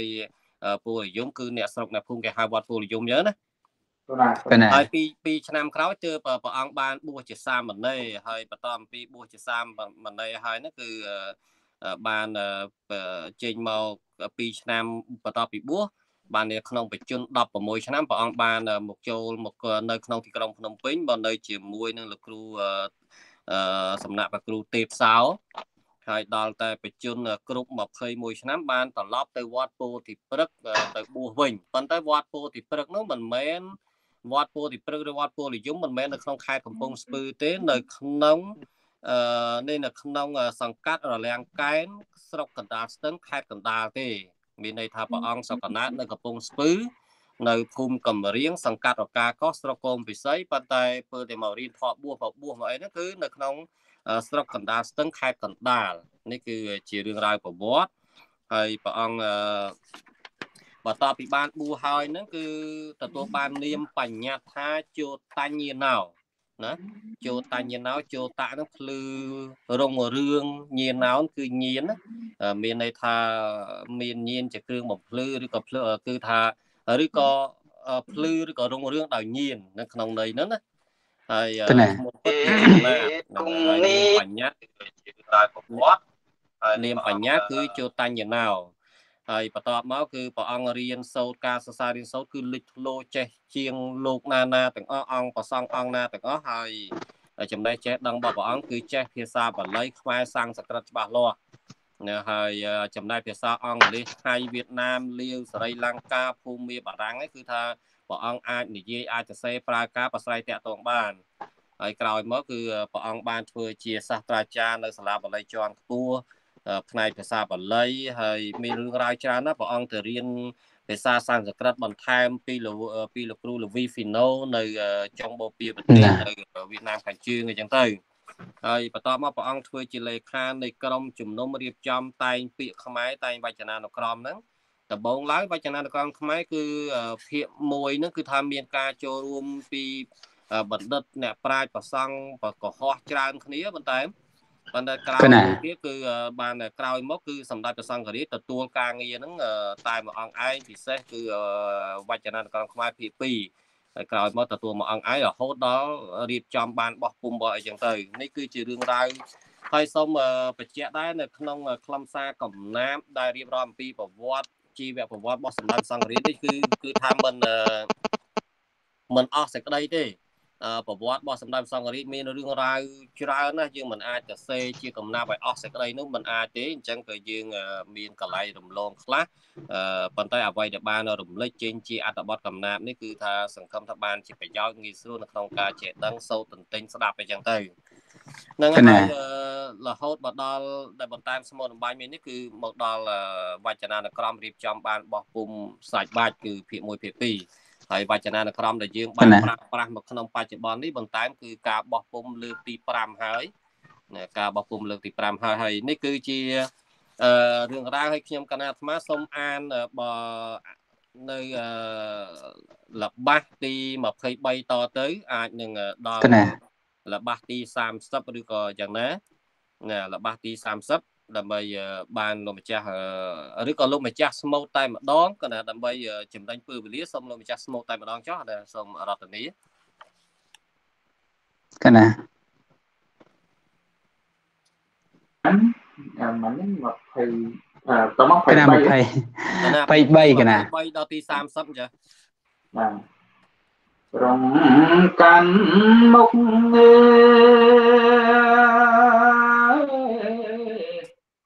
យ៉ាងវាងរ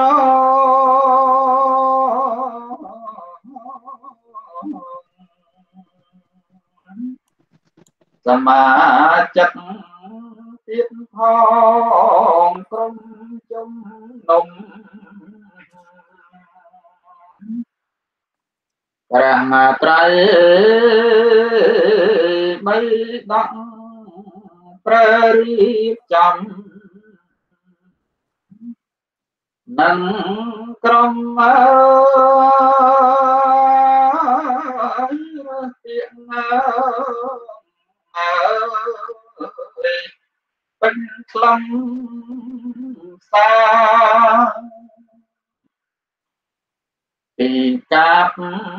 និពន្ធចំនួនដើម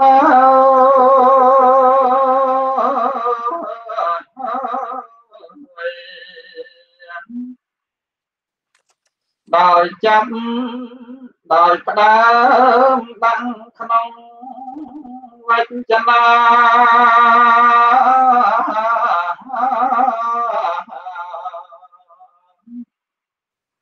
នៅក្រមខ្មែរជា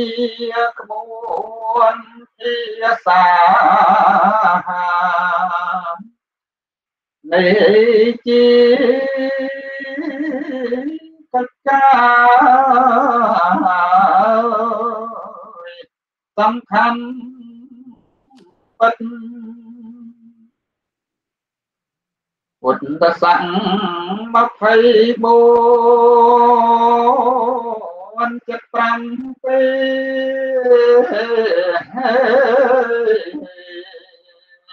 24 ចិត្ត5ពេលសមាជិកមានទីនឹងទីនិត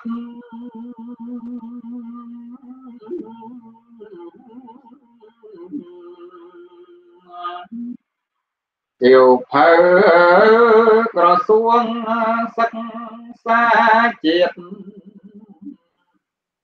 ជាវាខំ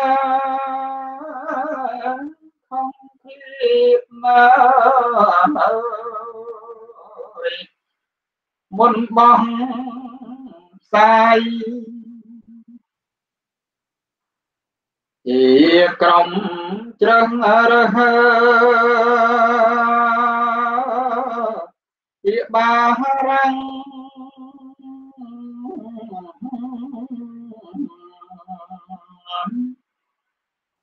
ចាត់នៅតាំងទុកប្រប្រយោជន៍ឆ្ងា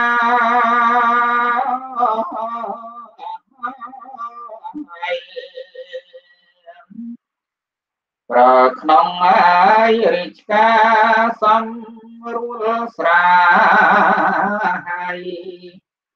ចំណា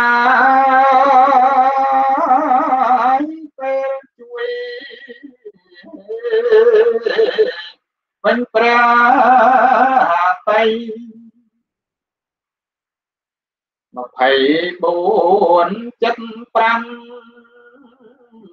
ពួនពុទ្ធសង្ឃ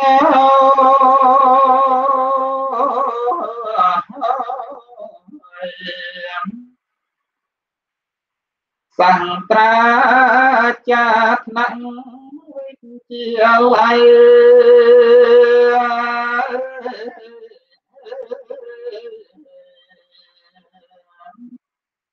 ប្រាំងសេសវត្តភ្នែកបាល័យសង្សក្រឹតណាព្រមដោយលា វនឹងខ្មែរ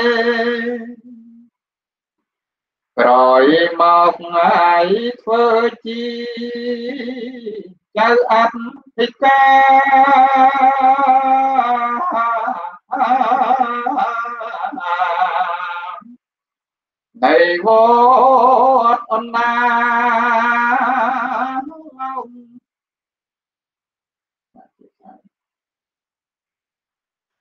នៃវត្តអណ្ណានៃវត្តអណ្ណាឡំផងដែរ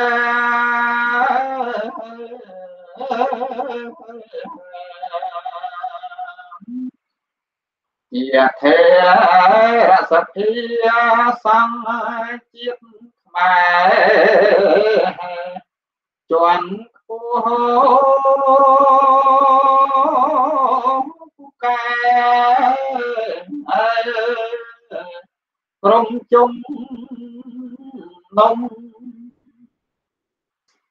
1961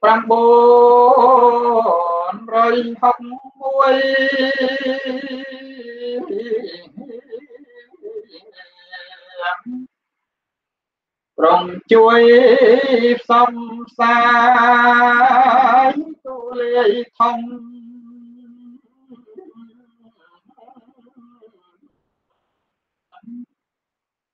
ដោយនេមន្តពីសង្ឃមាគុំយ៉ាងនិពន្ធអើយខ្មែ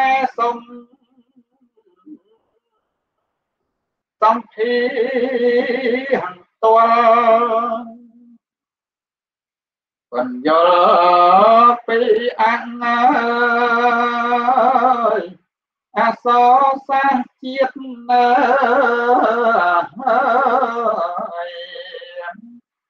តែពាក្យអើយខំឃ្លាតឲ្យបានស្គាល់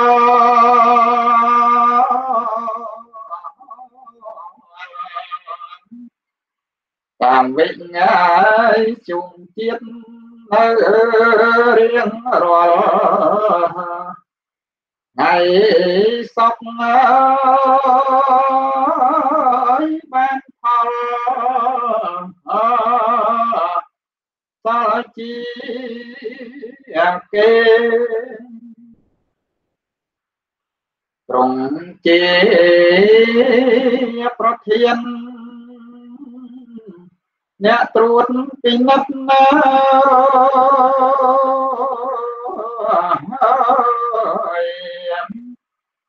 រឿងពិតអើយប្រវត្តិប្រសាំងខ្មែរ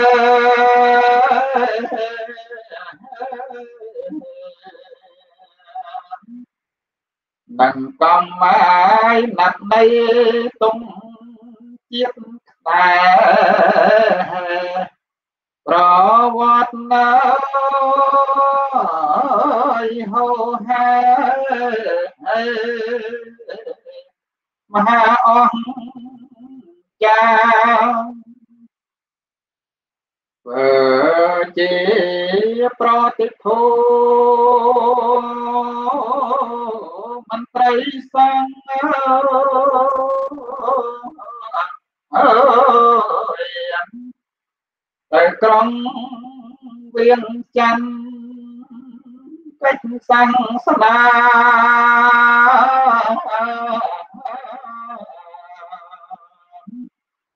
ក្នុងប្រអាយទាំងលាវ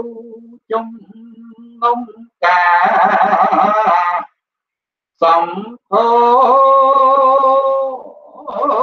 ពុទ្ធសាសនាបានបិទត្រង់ហើយណមកណ្ណា ប្រទេសគូអូទៅក៏សង្សិនវត្តក្បែរស្ថិត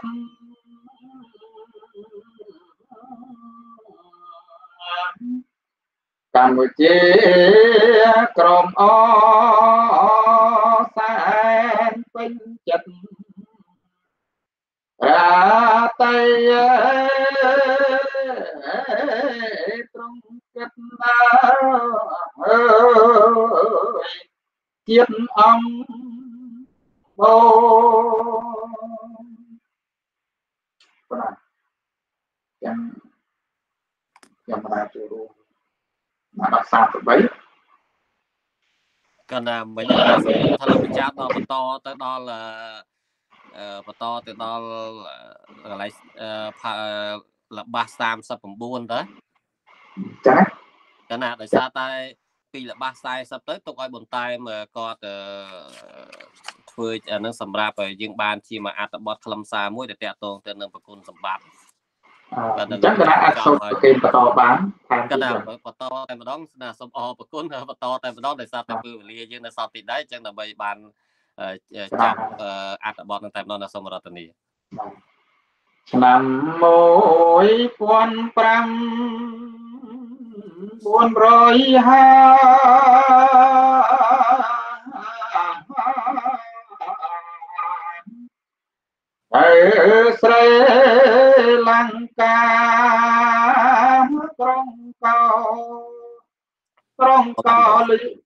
កោលំបូ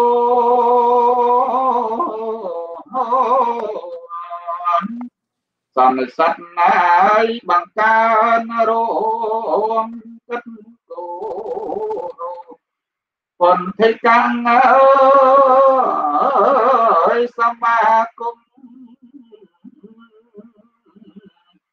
ធំលោកតា ក្រោយមកត្រង់យ៉ាង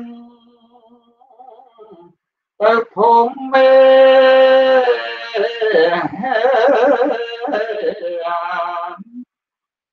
នៅនេរង្គូនរួមប្រឹក្សា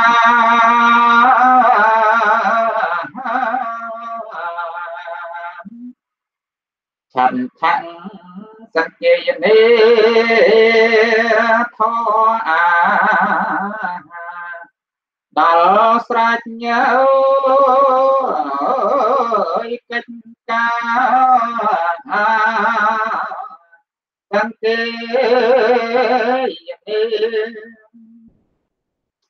ពីប៉ុន500បីពុទ្ធសង្ឃ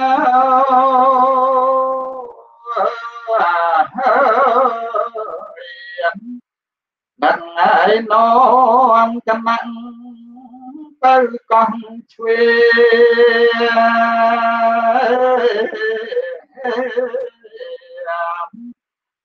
អណ្ដូនេស៊ីរួមទិញវាវេសាបូ ជាបញ្ចង់សីមាអែស័កមណងស័កច្រើនពេកណាស់អើ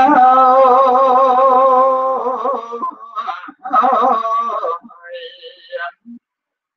សូមលើកយកខ្លាំង មកថ្លែងចា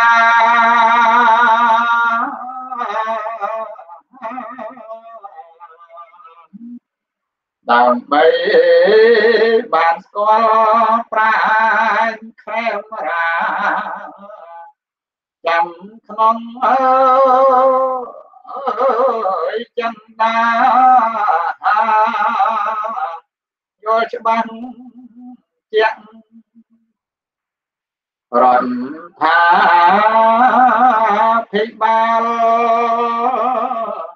នៃភូមិមេ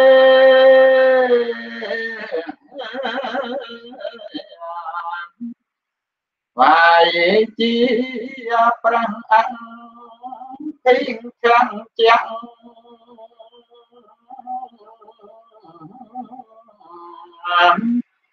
មហារតនាទាំងរុងពោះ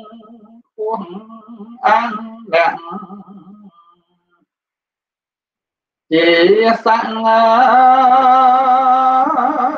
មនសង្ឃអើយលឹងផុតគេទ្រង់បានតទួលថ្វាយខាណាំង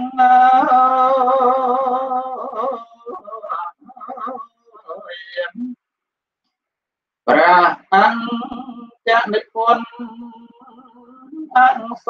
សានខ្មែរ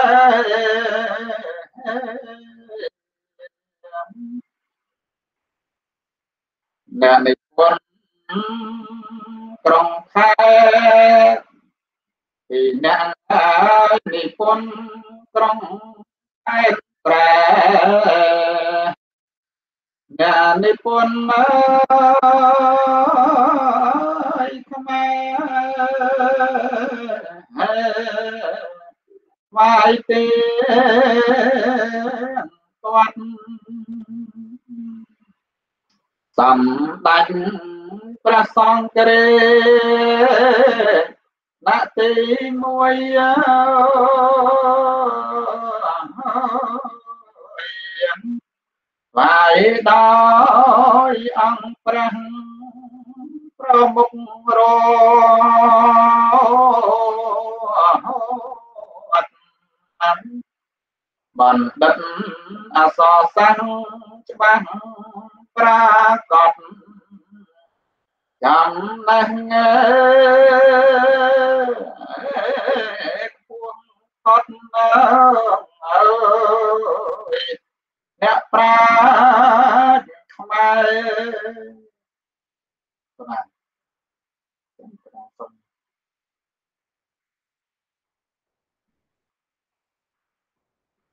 ្រាបសូមថ្លែងគុំគ្រូកណាអឺក្នុងថ្ងៃនេះដូចជាស្មូតច្រើនមែនតើណាទាំងលោកម្ចាស់ក៏ដូចជាទាំងបន្តែមហើយលោកម្ចាស់នៅនៅមានមួយវគ្គចុងក្រោយគឺអឺ លបាសពីលបាស57ទៅដល់64បញ្ចប់អឺហើយសល់ពីលបាសទី39ទៅដល់លបាសទី56ទុកឲ្យបន្តែមជួយជួយបង្ហើយហើយសម្រាប់ខ្ញុំកណានឹងរៀបជាជាឯកសារជាអីទុកក្នុង YouTube អីយ៉ាងណាផងដើម្បីបានជាឯកសារបាទបាទស្រាយកណាអឺអញ្ចឹងទេយើងមិនបានអត្ថាធិប្បាយអីវែងឆ្ងាយទៀតដោយសារតែពើវេលាផងហើយណាមួយទៀតក៏ពីក្នុងកំណាប់បានបញ្ជាក់ហើយលោកម្ចាស់ស្មូតហ្នឹងគឺថាបានរៀបរាប់អំពីប្រវត្តិហ្នឹងហើយហើយរឿងរ៉ាវជីវប្រវត្តិក៏ដូចជាអ្វីដែលជាស្នាប្រហោះរបស់សម្ដេចព្រះសង្ឃរីគឺពីពុទ្ធកៈ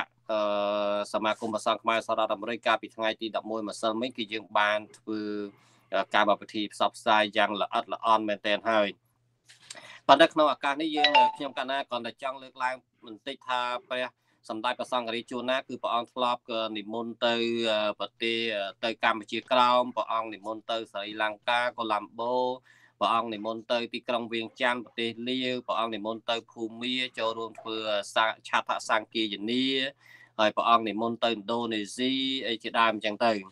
មានរឿងរ៉ាវច្រើនហើយពិសេសសម្ដេចព្រះសង្ឃរាជជួតញ្ញណោជួនម៉ាត់ជួនណាតបានទទួលការប្រគិនថ្វាយឋានៈជាពីប្រទេសភូមាពីរដ្ឋាភិបាលនៃសហភាពភូមា គឺថ្វាយពនាមថាជាអភិធច្ចមហារដ្ឋករុ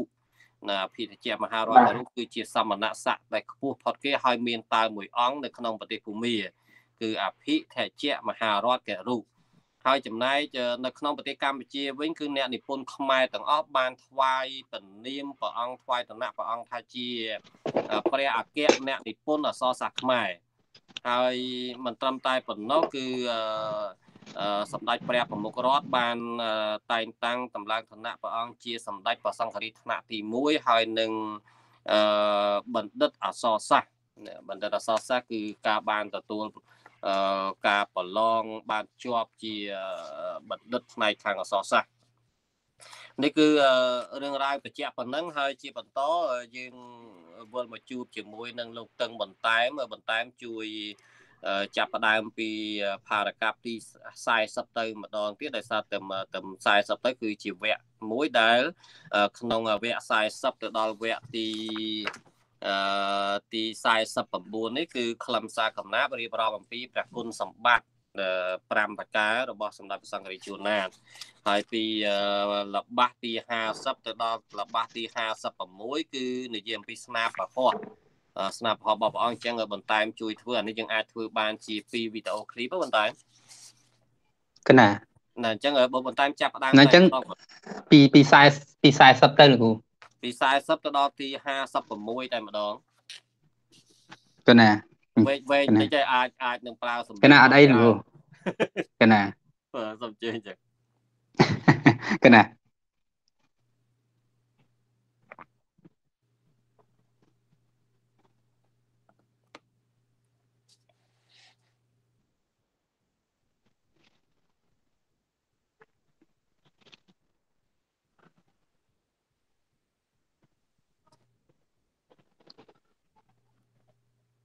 សំ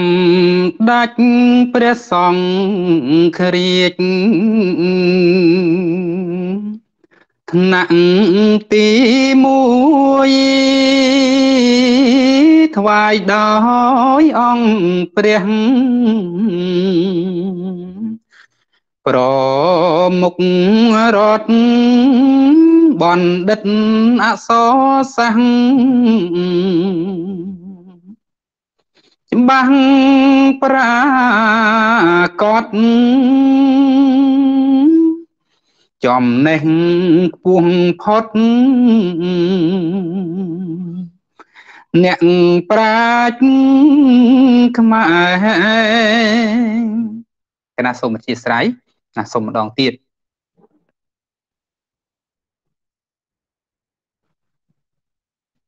ណាសូមច្រឡំបត់កណា កណាសូម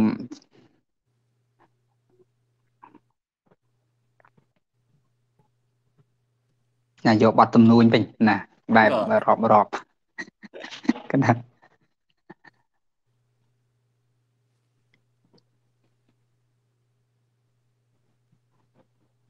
សំដាច់ព្រះសង្ឃរាជ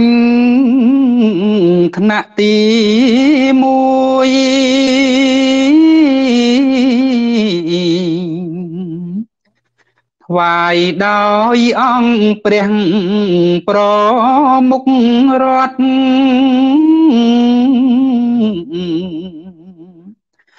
បណ្ឌិតអសរសាស្ត្រច្បាស់ប្រាកដ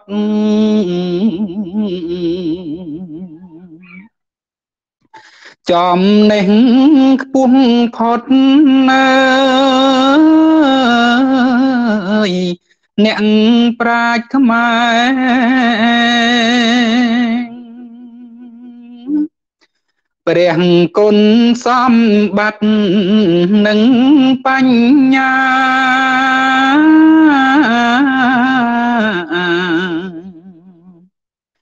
ជួនណាតអង្គចាឆ្លៀងពូកែ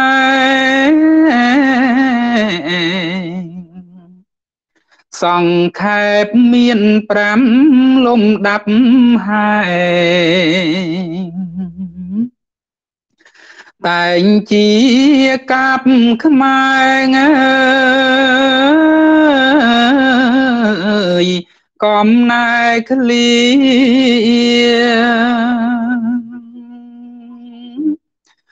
មួយវិរិយភា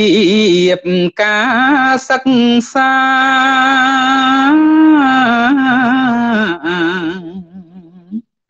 ជាយាមខ្លាំងខ្លាខំពុះពី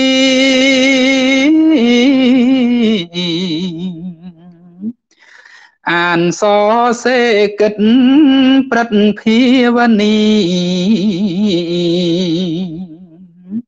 ទ្រង់ប្រើវេលាងអើយសាងបារមី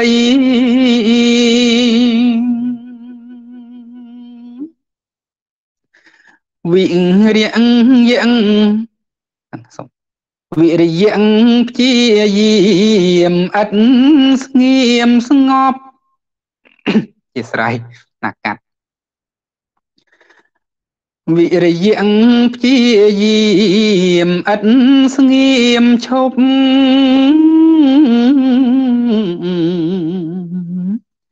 វេលាថ្ងៃយប់ឥតសំចៃ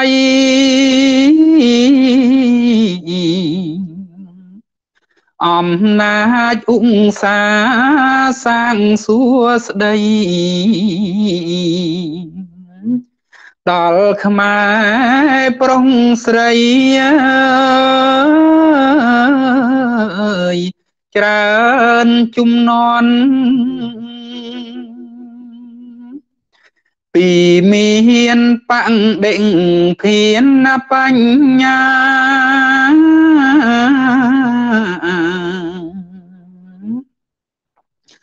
វៀងវៃយល់ការឆាប់រួងរន់ឆ្លើយបានរហ័ងឥតភៀងភ័ណ្ឌ អាចយល់ដឹងតន់ណាយមិនស្ទើស្ទាក់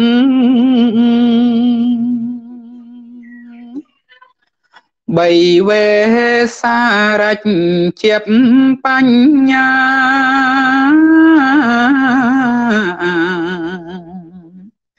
គ្រប់ក្រនឃ្លាវខ្លា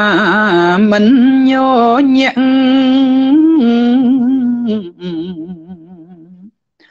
អង្គអាចក្នុងទីជំនុំជា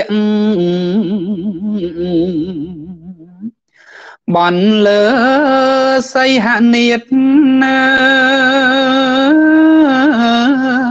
អើយដ៏អស្ចារ្យ តាសូមជាស្រ័យបនលើសីហនិតណាអើយដ៏ល្អទី4ទ្រង់ឆ្លៀងក្នុងទេសនា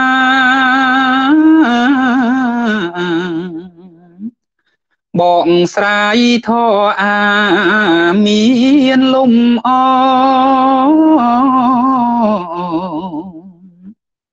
អ្នកស្ដាប់ងាយយល់ស្គាល់ខ្មៅសផ្លូវលោកផ្លូវធងអើយប្រាកដជា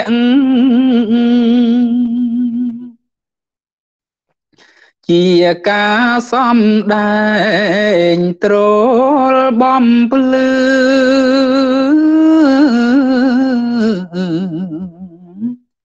ឲ្យអ្នកស្ដាប់ឮរលឹកបញ្ញាំ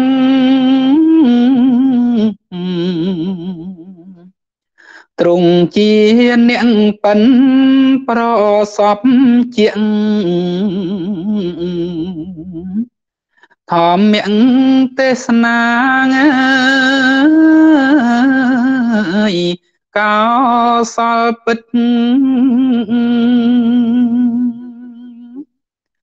ទី5បណៃតង្កិច្ចការ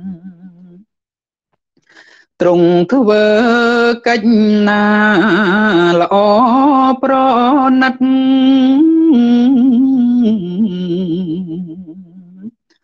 ទុកក្នុងសង្គមដំកល់ថាត់សង្គ្រោះជនពិតណាយ ឥត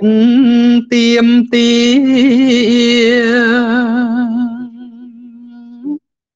ទ្រង់មានព្រះតីទូលាយធំ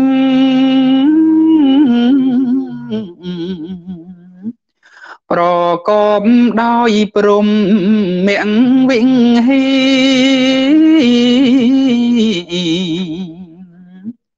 សង្គ្រោះដល់ជនជាសាធិ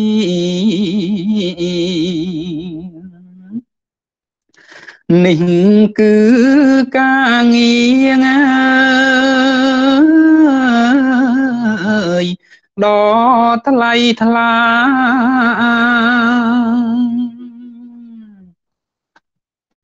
កណាសូម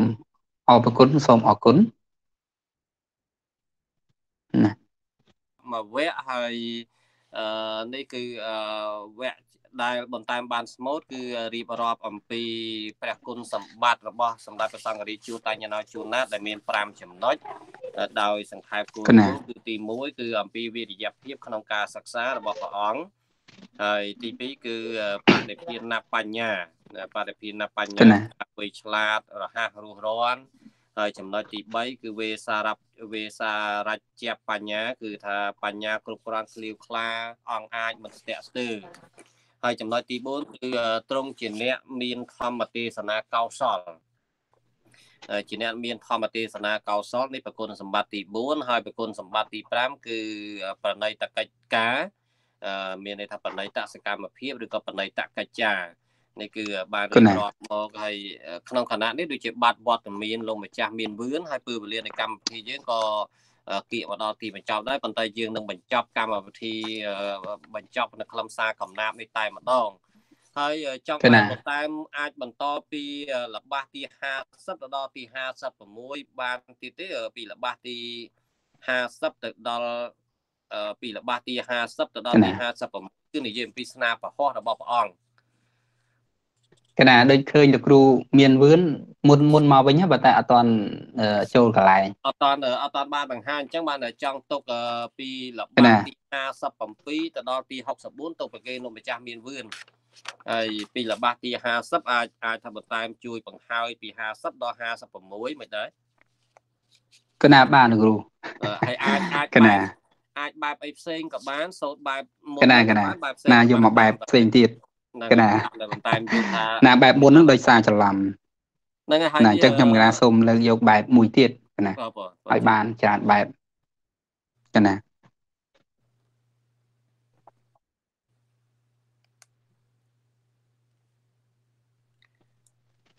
អឺណានៅនឹកអត់ទាន់ចេញកណានឹងបែបទៀតបែបយកបែបកុមារបាចុះកណាកុមារបា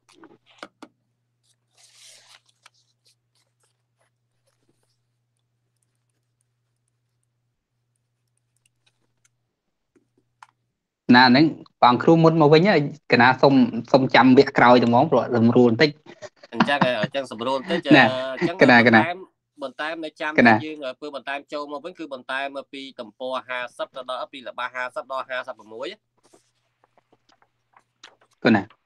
ឥឡូវនេះសូមនមស្ការលោកម្ចាស់មានវឿនជាបន្តណាបាទ កថាសូមនមស្ការហើយអំបញ្ញវិញលោកម្ចាស់បានស្ដាប់បន្តែមស្មូតហើយហើយខ្ញុំកណាក៏ជក់ចិត្តជាមួយនឹងការស្មូតបែបបត់ទំនួញហើយឥឡូវនេះចង់ប្រគេនឱកាសលោកម្ចាស់ស្មូតពីទំពីលបាសទី57ទៅដល់ទី64ដែលរៀបរាប់អំពីសកម្មភាពដែលថ្ងៃដំបូងគឺព្រះអង្គមាន ទ្រង់ព្រះសបិននិមិត្តឲ្យព្រះអង្គយករឿងរ៉ាវទៅប្រាប់ដល់ប្រសង់ជាច្រើនមនុស្សជាច្រើនហើយបន្ទាប់ពីនឹងមក14ថ្ងៃក្រោយក៏ព្រះអង្គបញ្ឈួនហើយប្រហែលថ្ងៃក្រោយមកទៀតគឺនៅថ្ងៃទី25ខែកញ្ញាហ្នឹងព្រះសម្ដេចព្រះសង្ឃរាជក៏បានសោយប្រតិបង្គតហើយនេះគឺពីទំព័រពីលបាសទី57ដល់64អញ្ចឹងសូមរតនីលោកម្ចាស់បានស្មូតដើម្បីទុកដើម្បីកំដរ អឺជាការយល់ដឹងដល់ប្រសងពុទ្ធបរិស័ទផងហើយយើងនឹងរៀបចំជាឯកសារទុកជាបន្តសម្រាប់បច្ចុប្បន្នការចងក្រោយទីគណៈសូមរតនាថ្ងៃមួយត្រង់មានព្រះអង្គការ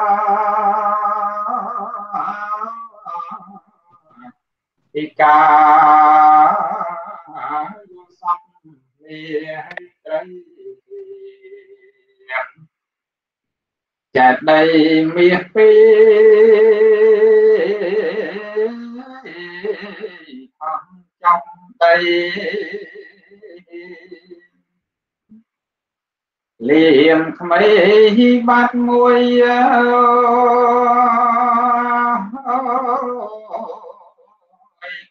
ដោយពេល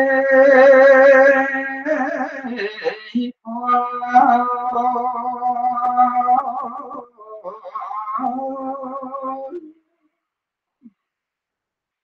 កបូ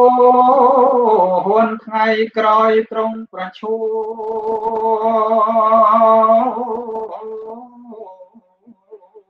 នរកគេ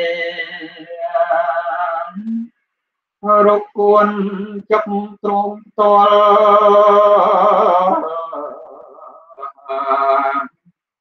ព្រះសង្ឃមន្ត្រី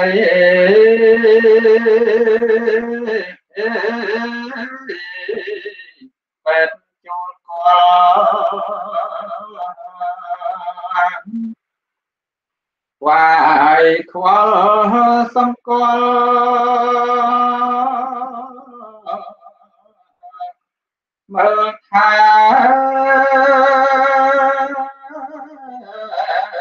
ខ្លួនណា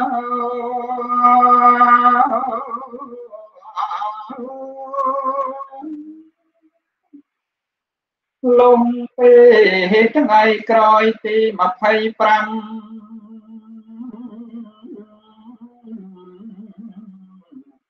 ខែកាន់ញ៉ា ឆ្នាំ69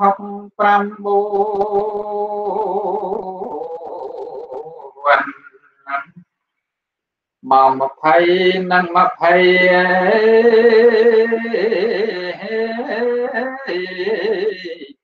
នេតិជួន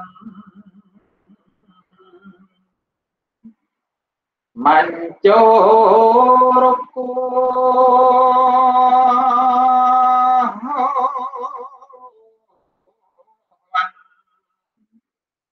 ដាច់សងអើយខា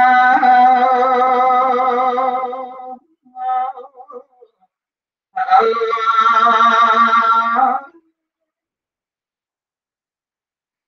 សំដាច់ត្រង់សាយទីវង្គត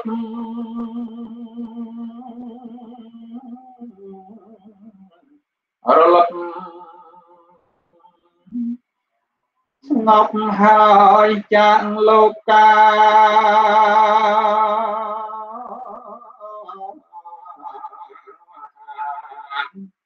ប្រជជនតែនសັບមើ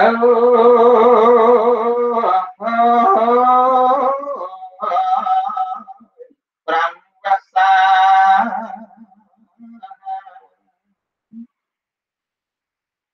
ត្រង់ លេហៀខេមរា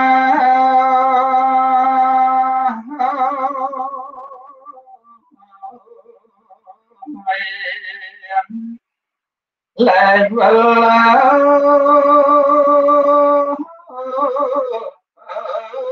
វិញ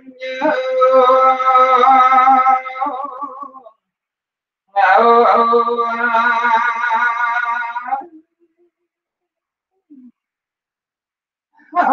កម្មលក្ខិនកំណាត់ណាស់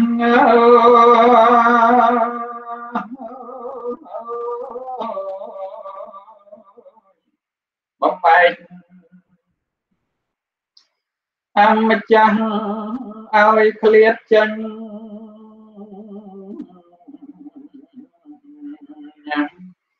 ឲ្យខ្មែរគ្រប់រ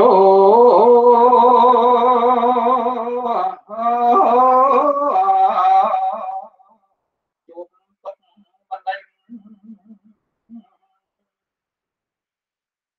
ក៏ពេញវិយក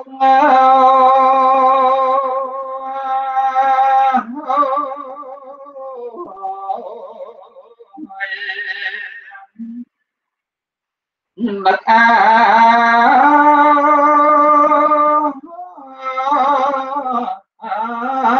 ឡៃងៅ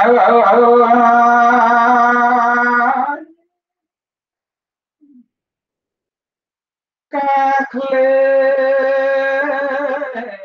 អង្គប្រាត់ដូចបាត់ខែ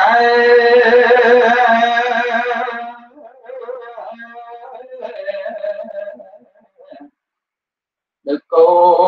នលេតម៉ែកំព្រាក្រៃ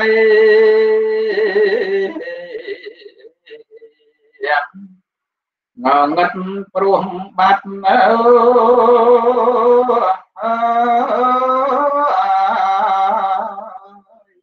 អ្នកអាស្រ័យ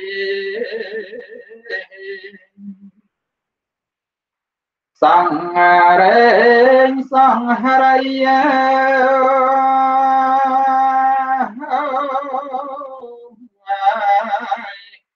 ស្រមៃឲ្យនឹកងើ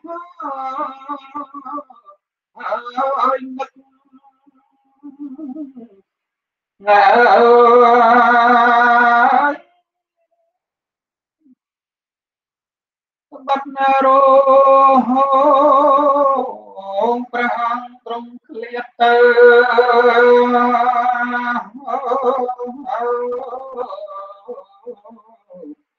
ស្នាប្រ អូនៅត្រូវរលឹក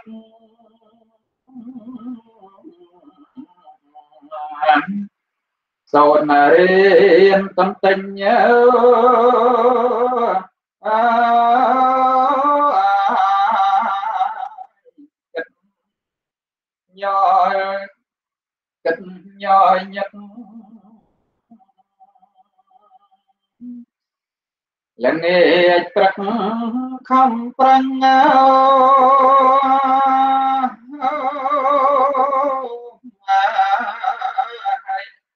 នៅចាំអើយរាននៅ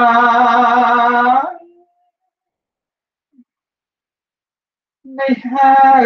ថាដឹងគុណប្រាជ្ញល្បី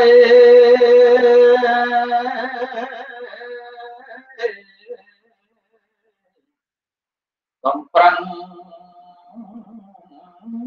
ដើម្បីសាងរូបច្រើនធ្វើតាមអវា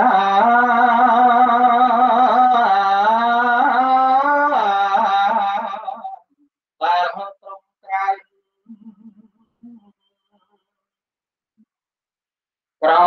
វានរៀនព្រា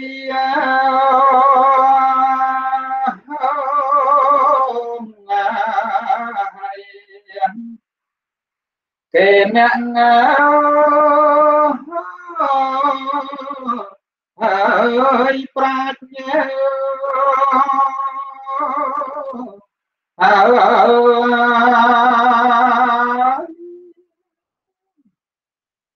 ណាបានសូមចូលរួមប៉ុណ្ណេះហើយខ្ញុំក៏ថាសូមអធិស្ឋានសម្រាប់កំណាព្យនិពន្ធឡើងដោយឧបាសិកាសោមវីរាបង្កែសម្រួលដោយប្រជាជនថេមរកវ័យកៅសវឿនគណៈអញ្ចឹងអធិស្ឋានទៅលើពាក្យពេចន៍ខ្លះដែលខ្ញុំបានជាប់មាត់ជាប់សម្ដីអីចំណៃទៅជាប់ពាក្យកណាកណាកណាមិនអីលំចាស់ប៉ុន្តែ ការស្មូតសូមប្រគិនបច្ចៈដែរថាប្រសិនបើខុសហើយទីថាយើងបច្ចៈឡើងស្មូតឡើងម្ដងទៀតនៅពេលដែលកាត់តយើងអាចយកមកផ្សំនេះបានកណាកណាហើយបរួមមែនទែនលោកម្ចាស់ហើយការស្មូតអំបញ្ញវិញនេះគឺជាអ្វីដែលខ្ញុំកណ្ដាលធ្លាប់ស្ដាប់តាំងពីក្មេងៗមកបែបបត់នៃការស្មូតហ្នឹងប៉ុន្តែនឹងបែបបត់អីដែរលោកម្ចាស់អឺណាអាហ្នឹងបើ កណ្ដាលធ្លាប់សួរកន្លងមកអឺដោយក្នុងបទរិណភិនសូត្រក៏អាចសូត្របែបហ្នឹងបានណាកណាបែបបែបហ្នឹងបរុះហើយត្រូវត្រូវនឹងវគ្គដែលវគ្គដែលសម្ដេចព្រះសង្ឃរាជសោយទីបង្គត់ហ្នឹងបែបហ្នឹងគឺថាតងហ្មងគឺថាធ្វើឲ្យណាស្ដាប់ទៅរន្ធត់សង្វេគអឺអាចថាធ្វើឲ្យយើងនឹកកាន់តែនឹកអាឡ័យទៅដល់មនុស្សសំខាន់ឬក៏អ្នកណាមួយដែលជា ជាសាច់ញាតិជាមនុស្សជាទីស្រឡាញ់របស់យើងណា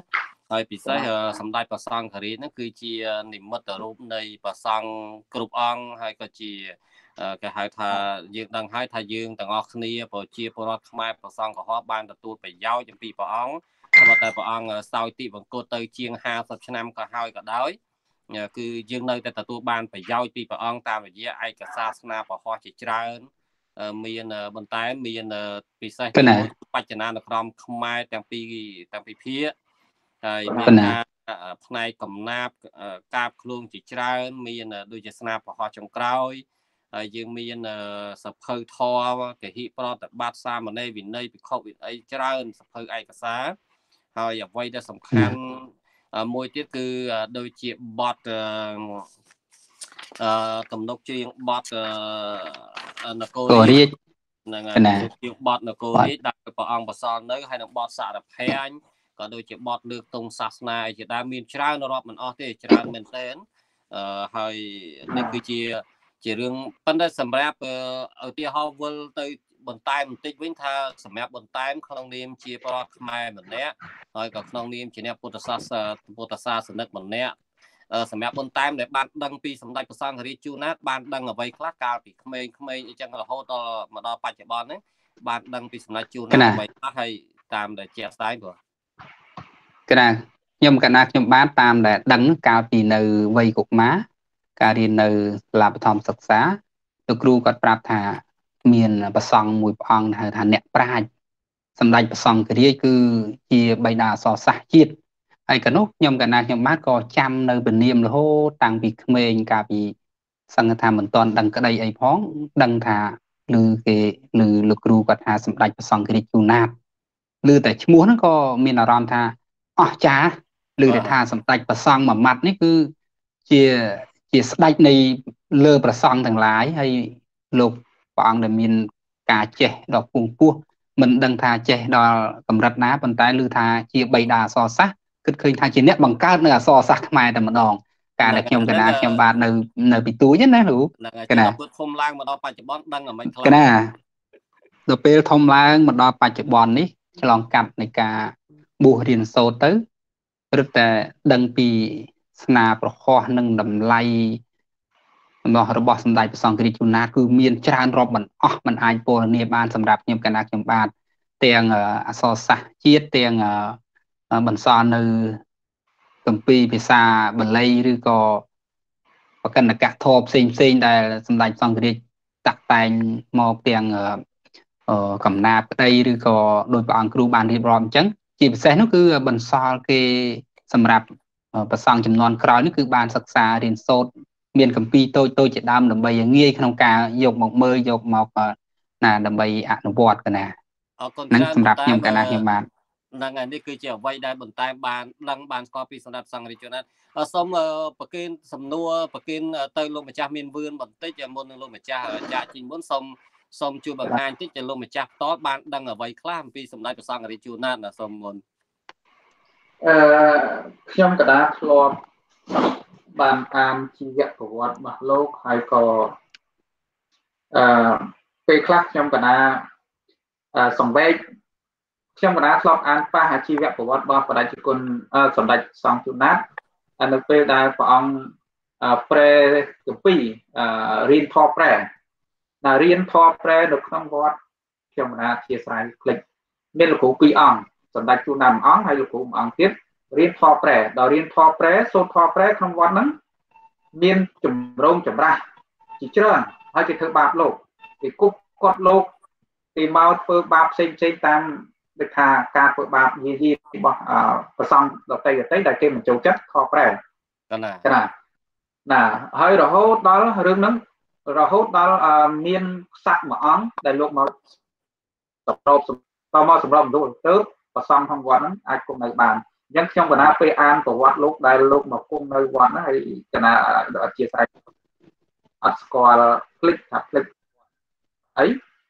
ហើយដល់ពេលមានចម្រងច្បាស់ហ្នឹងទៅកណាអានកន្លែងហ្នឹងទៅសង្វេកសង្វេកត្រង់ថាលោកមិនទាន់ល្បីឈ្មោះអញ្ចឹងគេមិនទាន់ឲ្យតម្លៃកណ្ដាលចា៎ដល់ពេលលោកល្បីឈ្មោះទៅបានគេឲ្យតម្លៃថាលោកជាអ្នកប្រាជ្ញហើយលោកតស៊ូគ្រប់បែបយ៉ាងទៅលើការដឹកនាំសូត្រខប្រែហ្នឹង កណាអអប្រគុណលោកម្ចាស់ហ្នឹងគឺពិតហើយដូចលោកម្ចាស់បានអានប្រវត្តិហ្នឹងពីម្សិលមិញពីកម្មវិធីរបស់ពុទ្ធកាសមាគមក៏បានធ្វើដែរហើយបានមានព្រះមហាថៃដែលលោកទទួលបន្ទុកក្នុងប្រវត្តិដោយដែលលោកម្ចាស់លើកឡើងជាការពិតសម្ដេចព្រះសង្ឃរាជលោកគឺជាអ្នកដែលអ្នកដែលបង្រួបអ្នកដែលហៅថាកែប្រែក៏ដូចជាបង្រួបបង្រួមនៅពីព្រោះនៅក្នុងគណៈពើនោះសម័យនោះមាន មានរឿងចម្រងចម្រាស់តាក់ទងទៅនឹងធម៌ថ្មីធម៌ចាស់ការប្រកាន់ជំនឿបែបប្រពៃណីបុរាណហើយមានប្រសង់មួយក្រុមទៀតគឺលោកសិក្សារៀនសូត្រតាមបត្រៃបិដកហើយលោកដោយលោកម្ចាស់លើកឡើងធម៌ប្រែធម៌អីជាដើមទៅមកមួយក្រុមគឺប្រកាន់ធម៌បុរាណមកប្រកាន់តាមបែបប្រពៃណីអញ្ចឹងទៅមួយក្រុមទៀតប្រកាន់បែបទំនើបថ្មីបែបយោងទៅតាមបត្រៃបិដកអីចឹងទៅចឹងមានការមានរឿងរ៉ាវវែងឆ្ងាយច្រើនណាស់ក្នុងរឿងហ្នឹងហើយចង់បានកណាបង្រួបបង្រួមបានកណា ការចង់អអប្រគុណលោកម្ចាស់ហើយបើសិនជាលោកម្ចាស់មានកិច្ចរវល់សូមតាមជាក់ស្ដែងហើយសូមប្រគិនពលលោកម្ចាស់បានទទួលបាននៅប្រសិទ្ធភាពល្អហើយរួចចាកអំពីកូវីដណាហើយណាណាណាសូមសាអរគុណកណាណាណាអ่าចឹងឥឡូវប្រទេសមើលក៏ខាងបងកណាតែបាទមកអត់ទេសុខសប្បាយដូចគ្នាណាចាំណាស្វាកណាយគ្នាណាសូមអរគុណសូមអរគុណកណាកណា ណាណាអរអរគុណអឺលោកម្ចាស់មានវឿនដែលអឺបានចូលរួមកម្មវិធីត្បិតដែលលោកលវលនៅក្នុងកិច្ចការវត្តអារាមពុទ្ធសាសនានៅក្នុងប្រទេសញូហ្សេឡង់យ៉ាងណាក៏លោកចំណាយពេលវេលាឥឡូវនេះអឺបន្ថែមយើងមកវិលជួបជាមួយនៅនាទីកំណាបម៉ោងពេលវេលារបស់យើងគឺដល់ម៉ោងចុងក្រោយហើយយើងលើសម៉ោងបន្តិចថ្ងៃនេះកណាតែតើតែយើងចង់បញ្ចប់កម្មវិធីកំណាបនេះតែម្ដងហើយក្នុងនោះមានកណាអឺលោកម្ចាស់គ្រូអឺបញ្ញាបតិប៉ោប៉ាសផលក៏បាន comment ចូលដោយ អឺ data congratulation កណា congratulation អឺព្រះអង្គគ្រូជាអនុប្រធានទី1នៃពុទ្ធកាសមាគមសហរដ្ឋអាមេរិកលោកកំពុងតាមដានដែរហើយមានព្រះអង្គគ្រូជាច្រើនទៀតហើយឥឡូវនេះបន្តែមនាទីមុននឹងបញ្ចប់កម្មវិធីអឺជូនឱកាសបន្តែមពីលបាសទី50ទៅដល់លបាសទី56ហើយដើម្បីបិទកម្មវិធីជាទីចុងក្រោយរបស់យើងហើយអញ្ចឹងសូមអញ្ជើញមកតាកណាចឹងខ្ញុំកណាសូម លើកមួយបែបទៀតគឺបែបកមាបាបេសូតនៅក្នុងណាឃ្លាទី50ដល់ឃ្លាទី56ពេញមួយជីវិតនៃព្រះជន្មនៃព្រះអង្គលះណាសូមអធិស្ឋានមើលមើលមើលទៅមុខទៅកណាអញ្ចឹងសូម កាត់ព្រះអង្គគ្រូអាចកាត់បានណាសូមម្ដងទៀតកណាពេញមួយជីវិតនៃព្រះអង្គលះបង់ដើម្បីជាតិសាសនា វប្បធម៌សន្តិភាពជាតិខេមរាបច្ឆិមចិនតាង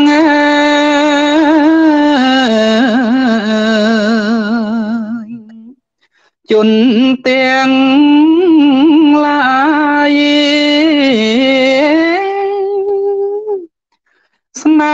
ព្រះហំទ្រង់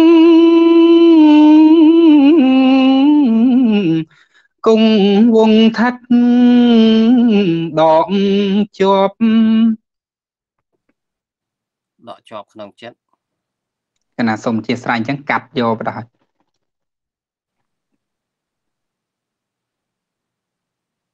មិនហ៎ ដកជាប់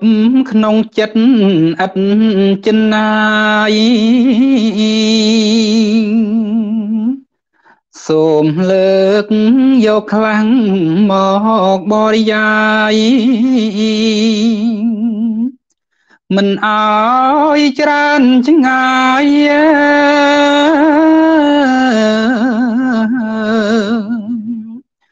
មានដូចជាមួយគឺវចនានុក្រមខ្មែរបនសល់ជាគេជូនជនី បានជាប្រយោជន៍មហិមីទ្របកម្ពុជា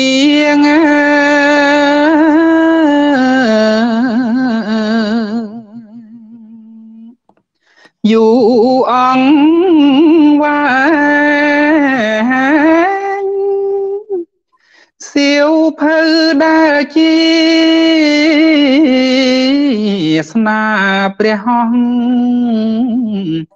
ទាំងអស់មានច្រើនពុំអាចថ្លែងតែសូមលើកយកព្រះគេស្ដែង ដែលតែងលឺសព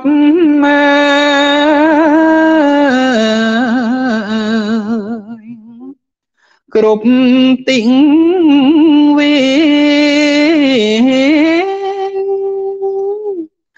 ទុំនុកច្រៀងបទនគររាជ សម្រាប់ភ្លេងជាតិកម្ពុជាបទសង្រភញ្ញសូត្រវន្ទី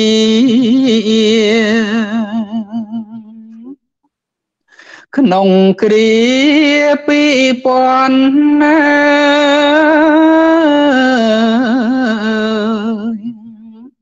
500ឆ្នាំអំឡុងកាលទ្រង់គង់ព្រះជន្មគិតគុណសង្គមជាប្រចាំ បង្កើតសុខដុមនៃកម្មដោយផ្សំវប្បធម៌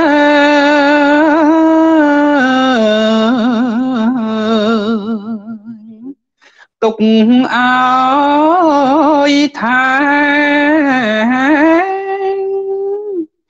សូមបីការត្រង់ ជរាហើយក៏មិនកន្តើយប្រឹងអត់ឡើយសំភាងអសរសាសជាតិខ្មែរ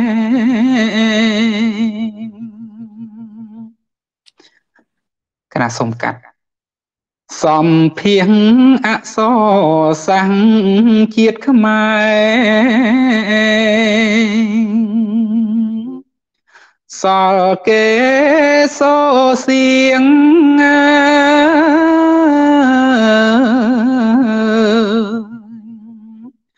អង្គប្រាជ្ញល្បី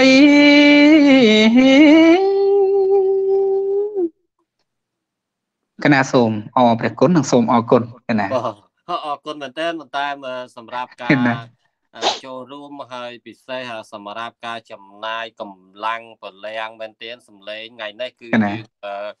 យើងច្រើនមែនទែនសូមអធិស្ឋានអត្តពលកំណាបនេះគឺមានរហូតដល់ទៅ64លបាសហើយ 64លបាសហ្នឹងមែនទែនយើងតែងនៅកន្លែងខ្លះយើងមានរំលងហើយក្លឹមមានរំលងខ្លះខ្លះមកដោយសង្ខេបទេមិនពឹសស្ដាទេបើសិនជាពឹសស្ដាវិញប្រហែលជាជាង100លបាសហើយទៅអាហ្នឹងបានអស់ខ្លឹមសារណាកណានេះគឺជាវិរិយភាពរបស់លោកគ្រូហើយនឹងឧបាសិកាដែលគាត់តាក់តែងហ្នឹងមិនងាយខ្ញុំកណាខ្ញុំបាទពេលខ្លះដឹងដឹងប្រវត្តិជាហោហែហើយក៏ប៉ុន្តែបន្ថែមនៅក្នុងអត្តន័យកំណាប់នេះទៀតវារឹតតែ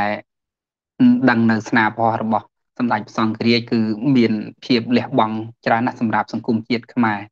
កណាហើយខ្ញុំកណាខ្ញុំបាទសូត្រនេះគឺសូត្រដកឃ្លាដើម្បីឲ្យព្រះអង្គគ្រូអាចកាត់បានអាកន្លែងណាខុសខ្ញុំកណាដើម្បីឲ្យគ្រូកាត់ ខ្ញុំគណាដឹង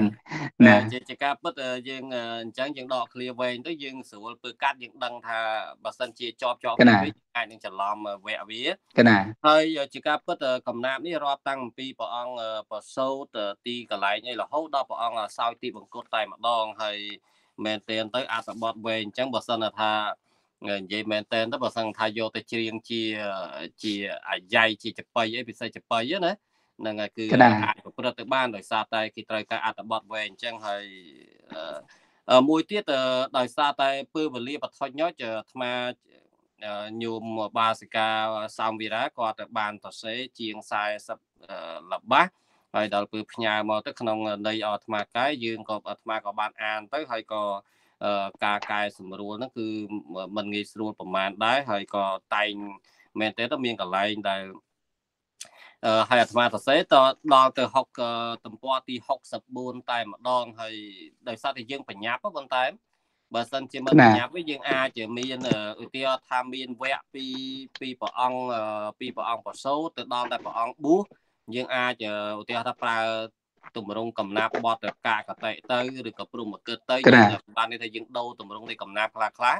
ពីពាក្យ7ទៅពាក្យ8ហើយមកជាបត់ព្រមកិតអីខ្លះចឹងទៅអញ្ចឹងពើតែធ្វើបែប boss mode អីគឺអឺអាចជាមានច្រើនរសជាតិអាចអាចអាចច្រើនរសជាតិណាអាចបដូរបត់ជាតិបែបបានប៉ុន្តែដោយសារតែពើវេលាបថុចចុចដោយសារតែយើងទៅសេមុនពើដែលប្រហែលថ្ងៃមុននេះអញ្ចឹងទៅបថុចនេះក៏លៃបានប៉ុណ្ណឹងហើយសង្ឃឹមថា នឹងបានជាប្រយោជន៍ជាសម្រាប់ការយល់ដឹងរបស់ប្រជាជនជាន់ក្រោយហើយឥឡូវប៉ុន្តែមកពេលលាននៃនាទីកំណាប់យើងដោយសារយើងថ្ងៃនេះលើសមកបន្តិចហើយអញ្ចឹងយើងដល់ពេលនឹងចាប់ចប់ជួសមុខឲ្យព្រះអង្គគ្រូប្រធានពុទ្ធិកាសមាគមប្រសង់ខ្មែរសារ៉ាអាមេរិកថ្លែងអរគុណចំពោះលោកបន្តែមជាខ្លាំងដែលបានចូលរួមហើយលោកម្ចាស់មានវឿនផងដែរហើយសូមថ្លែងអំណរគុណចំពោះ ព្រះសង្ឃគ្រប់អង្គពុទ្ធសាសនិកគ្រប់រូបបងប្អូនយុវជនដែលបានចំណាយពើតាមដានកម្មវិធីផ្សាយ live ផ្ទាល់ពីពុទ្ធកាសមាគមសង្ឃខ្មែរសូមប្រគេនពរជូនពរជួបប្រទះតែនឹងសេចក្តីសុខសេចក្តីចម្រើនហើយពីកម្មវិធីនទីកំណាព្យនិងស្មូតខ្មែរដែលមានខ្ញុំកាណាអាត្មាភាពវិខខេមរកវិកៅសវឿនលោកតឹងបន្តែមនិងព្រះអង្គលោកម្ចាស់មានវឿនពីកម្មវិធីផ្សាយសូមនមស្ការនិងចម្រើនពរលាហើយបន្តែសូមក្រាបថ្វាយគុំលាកណា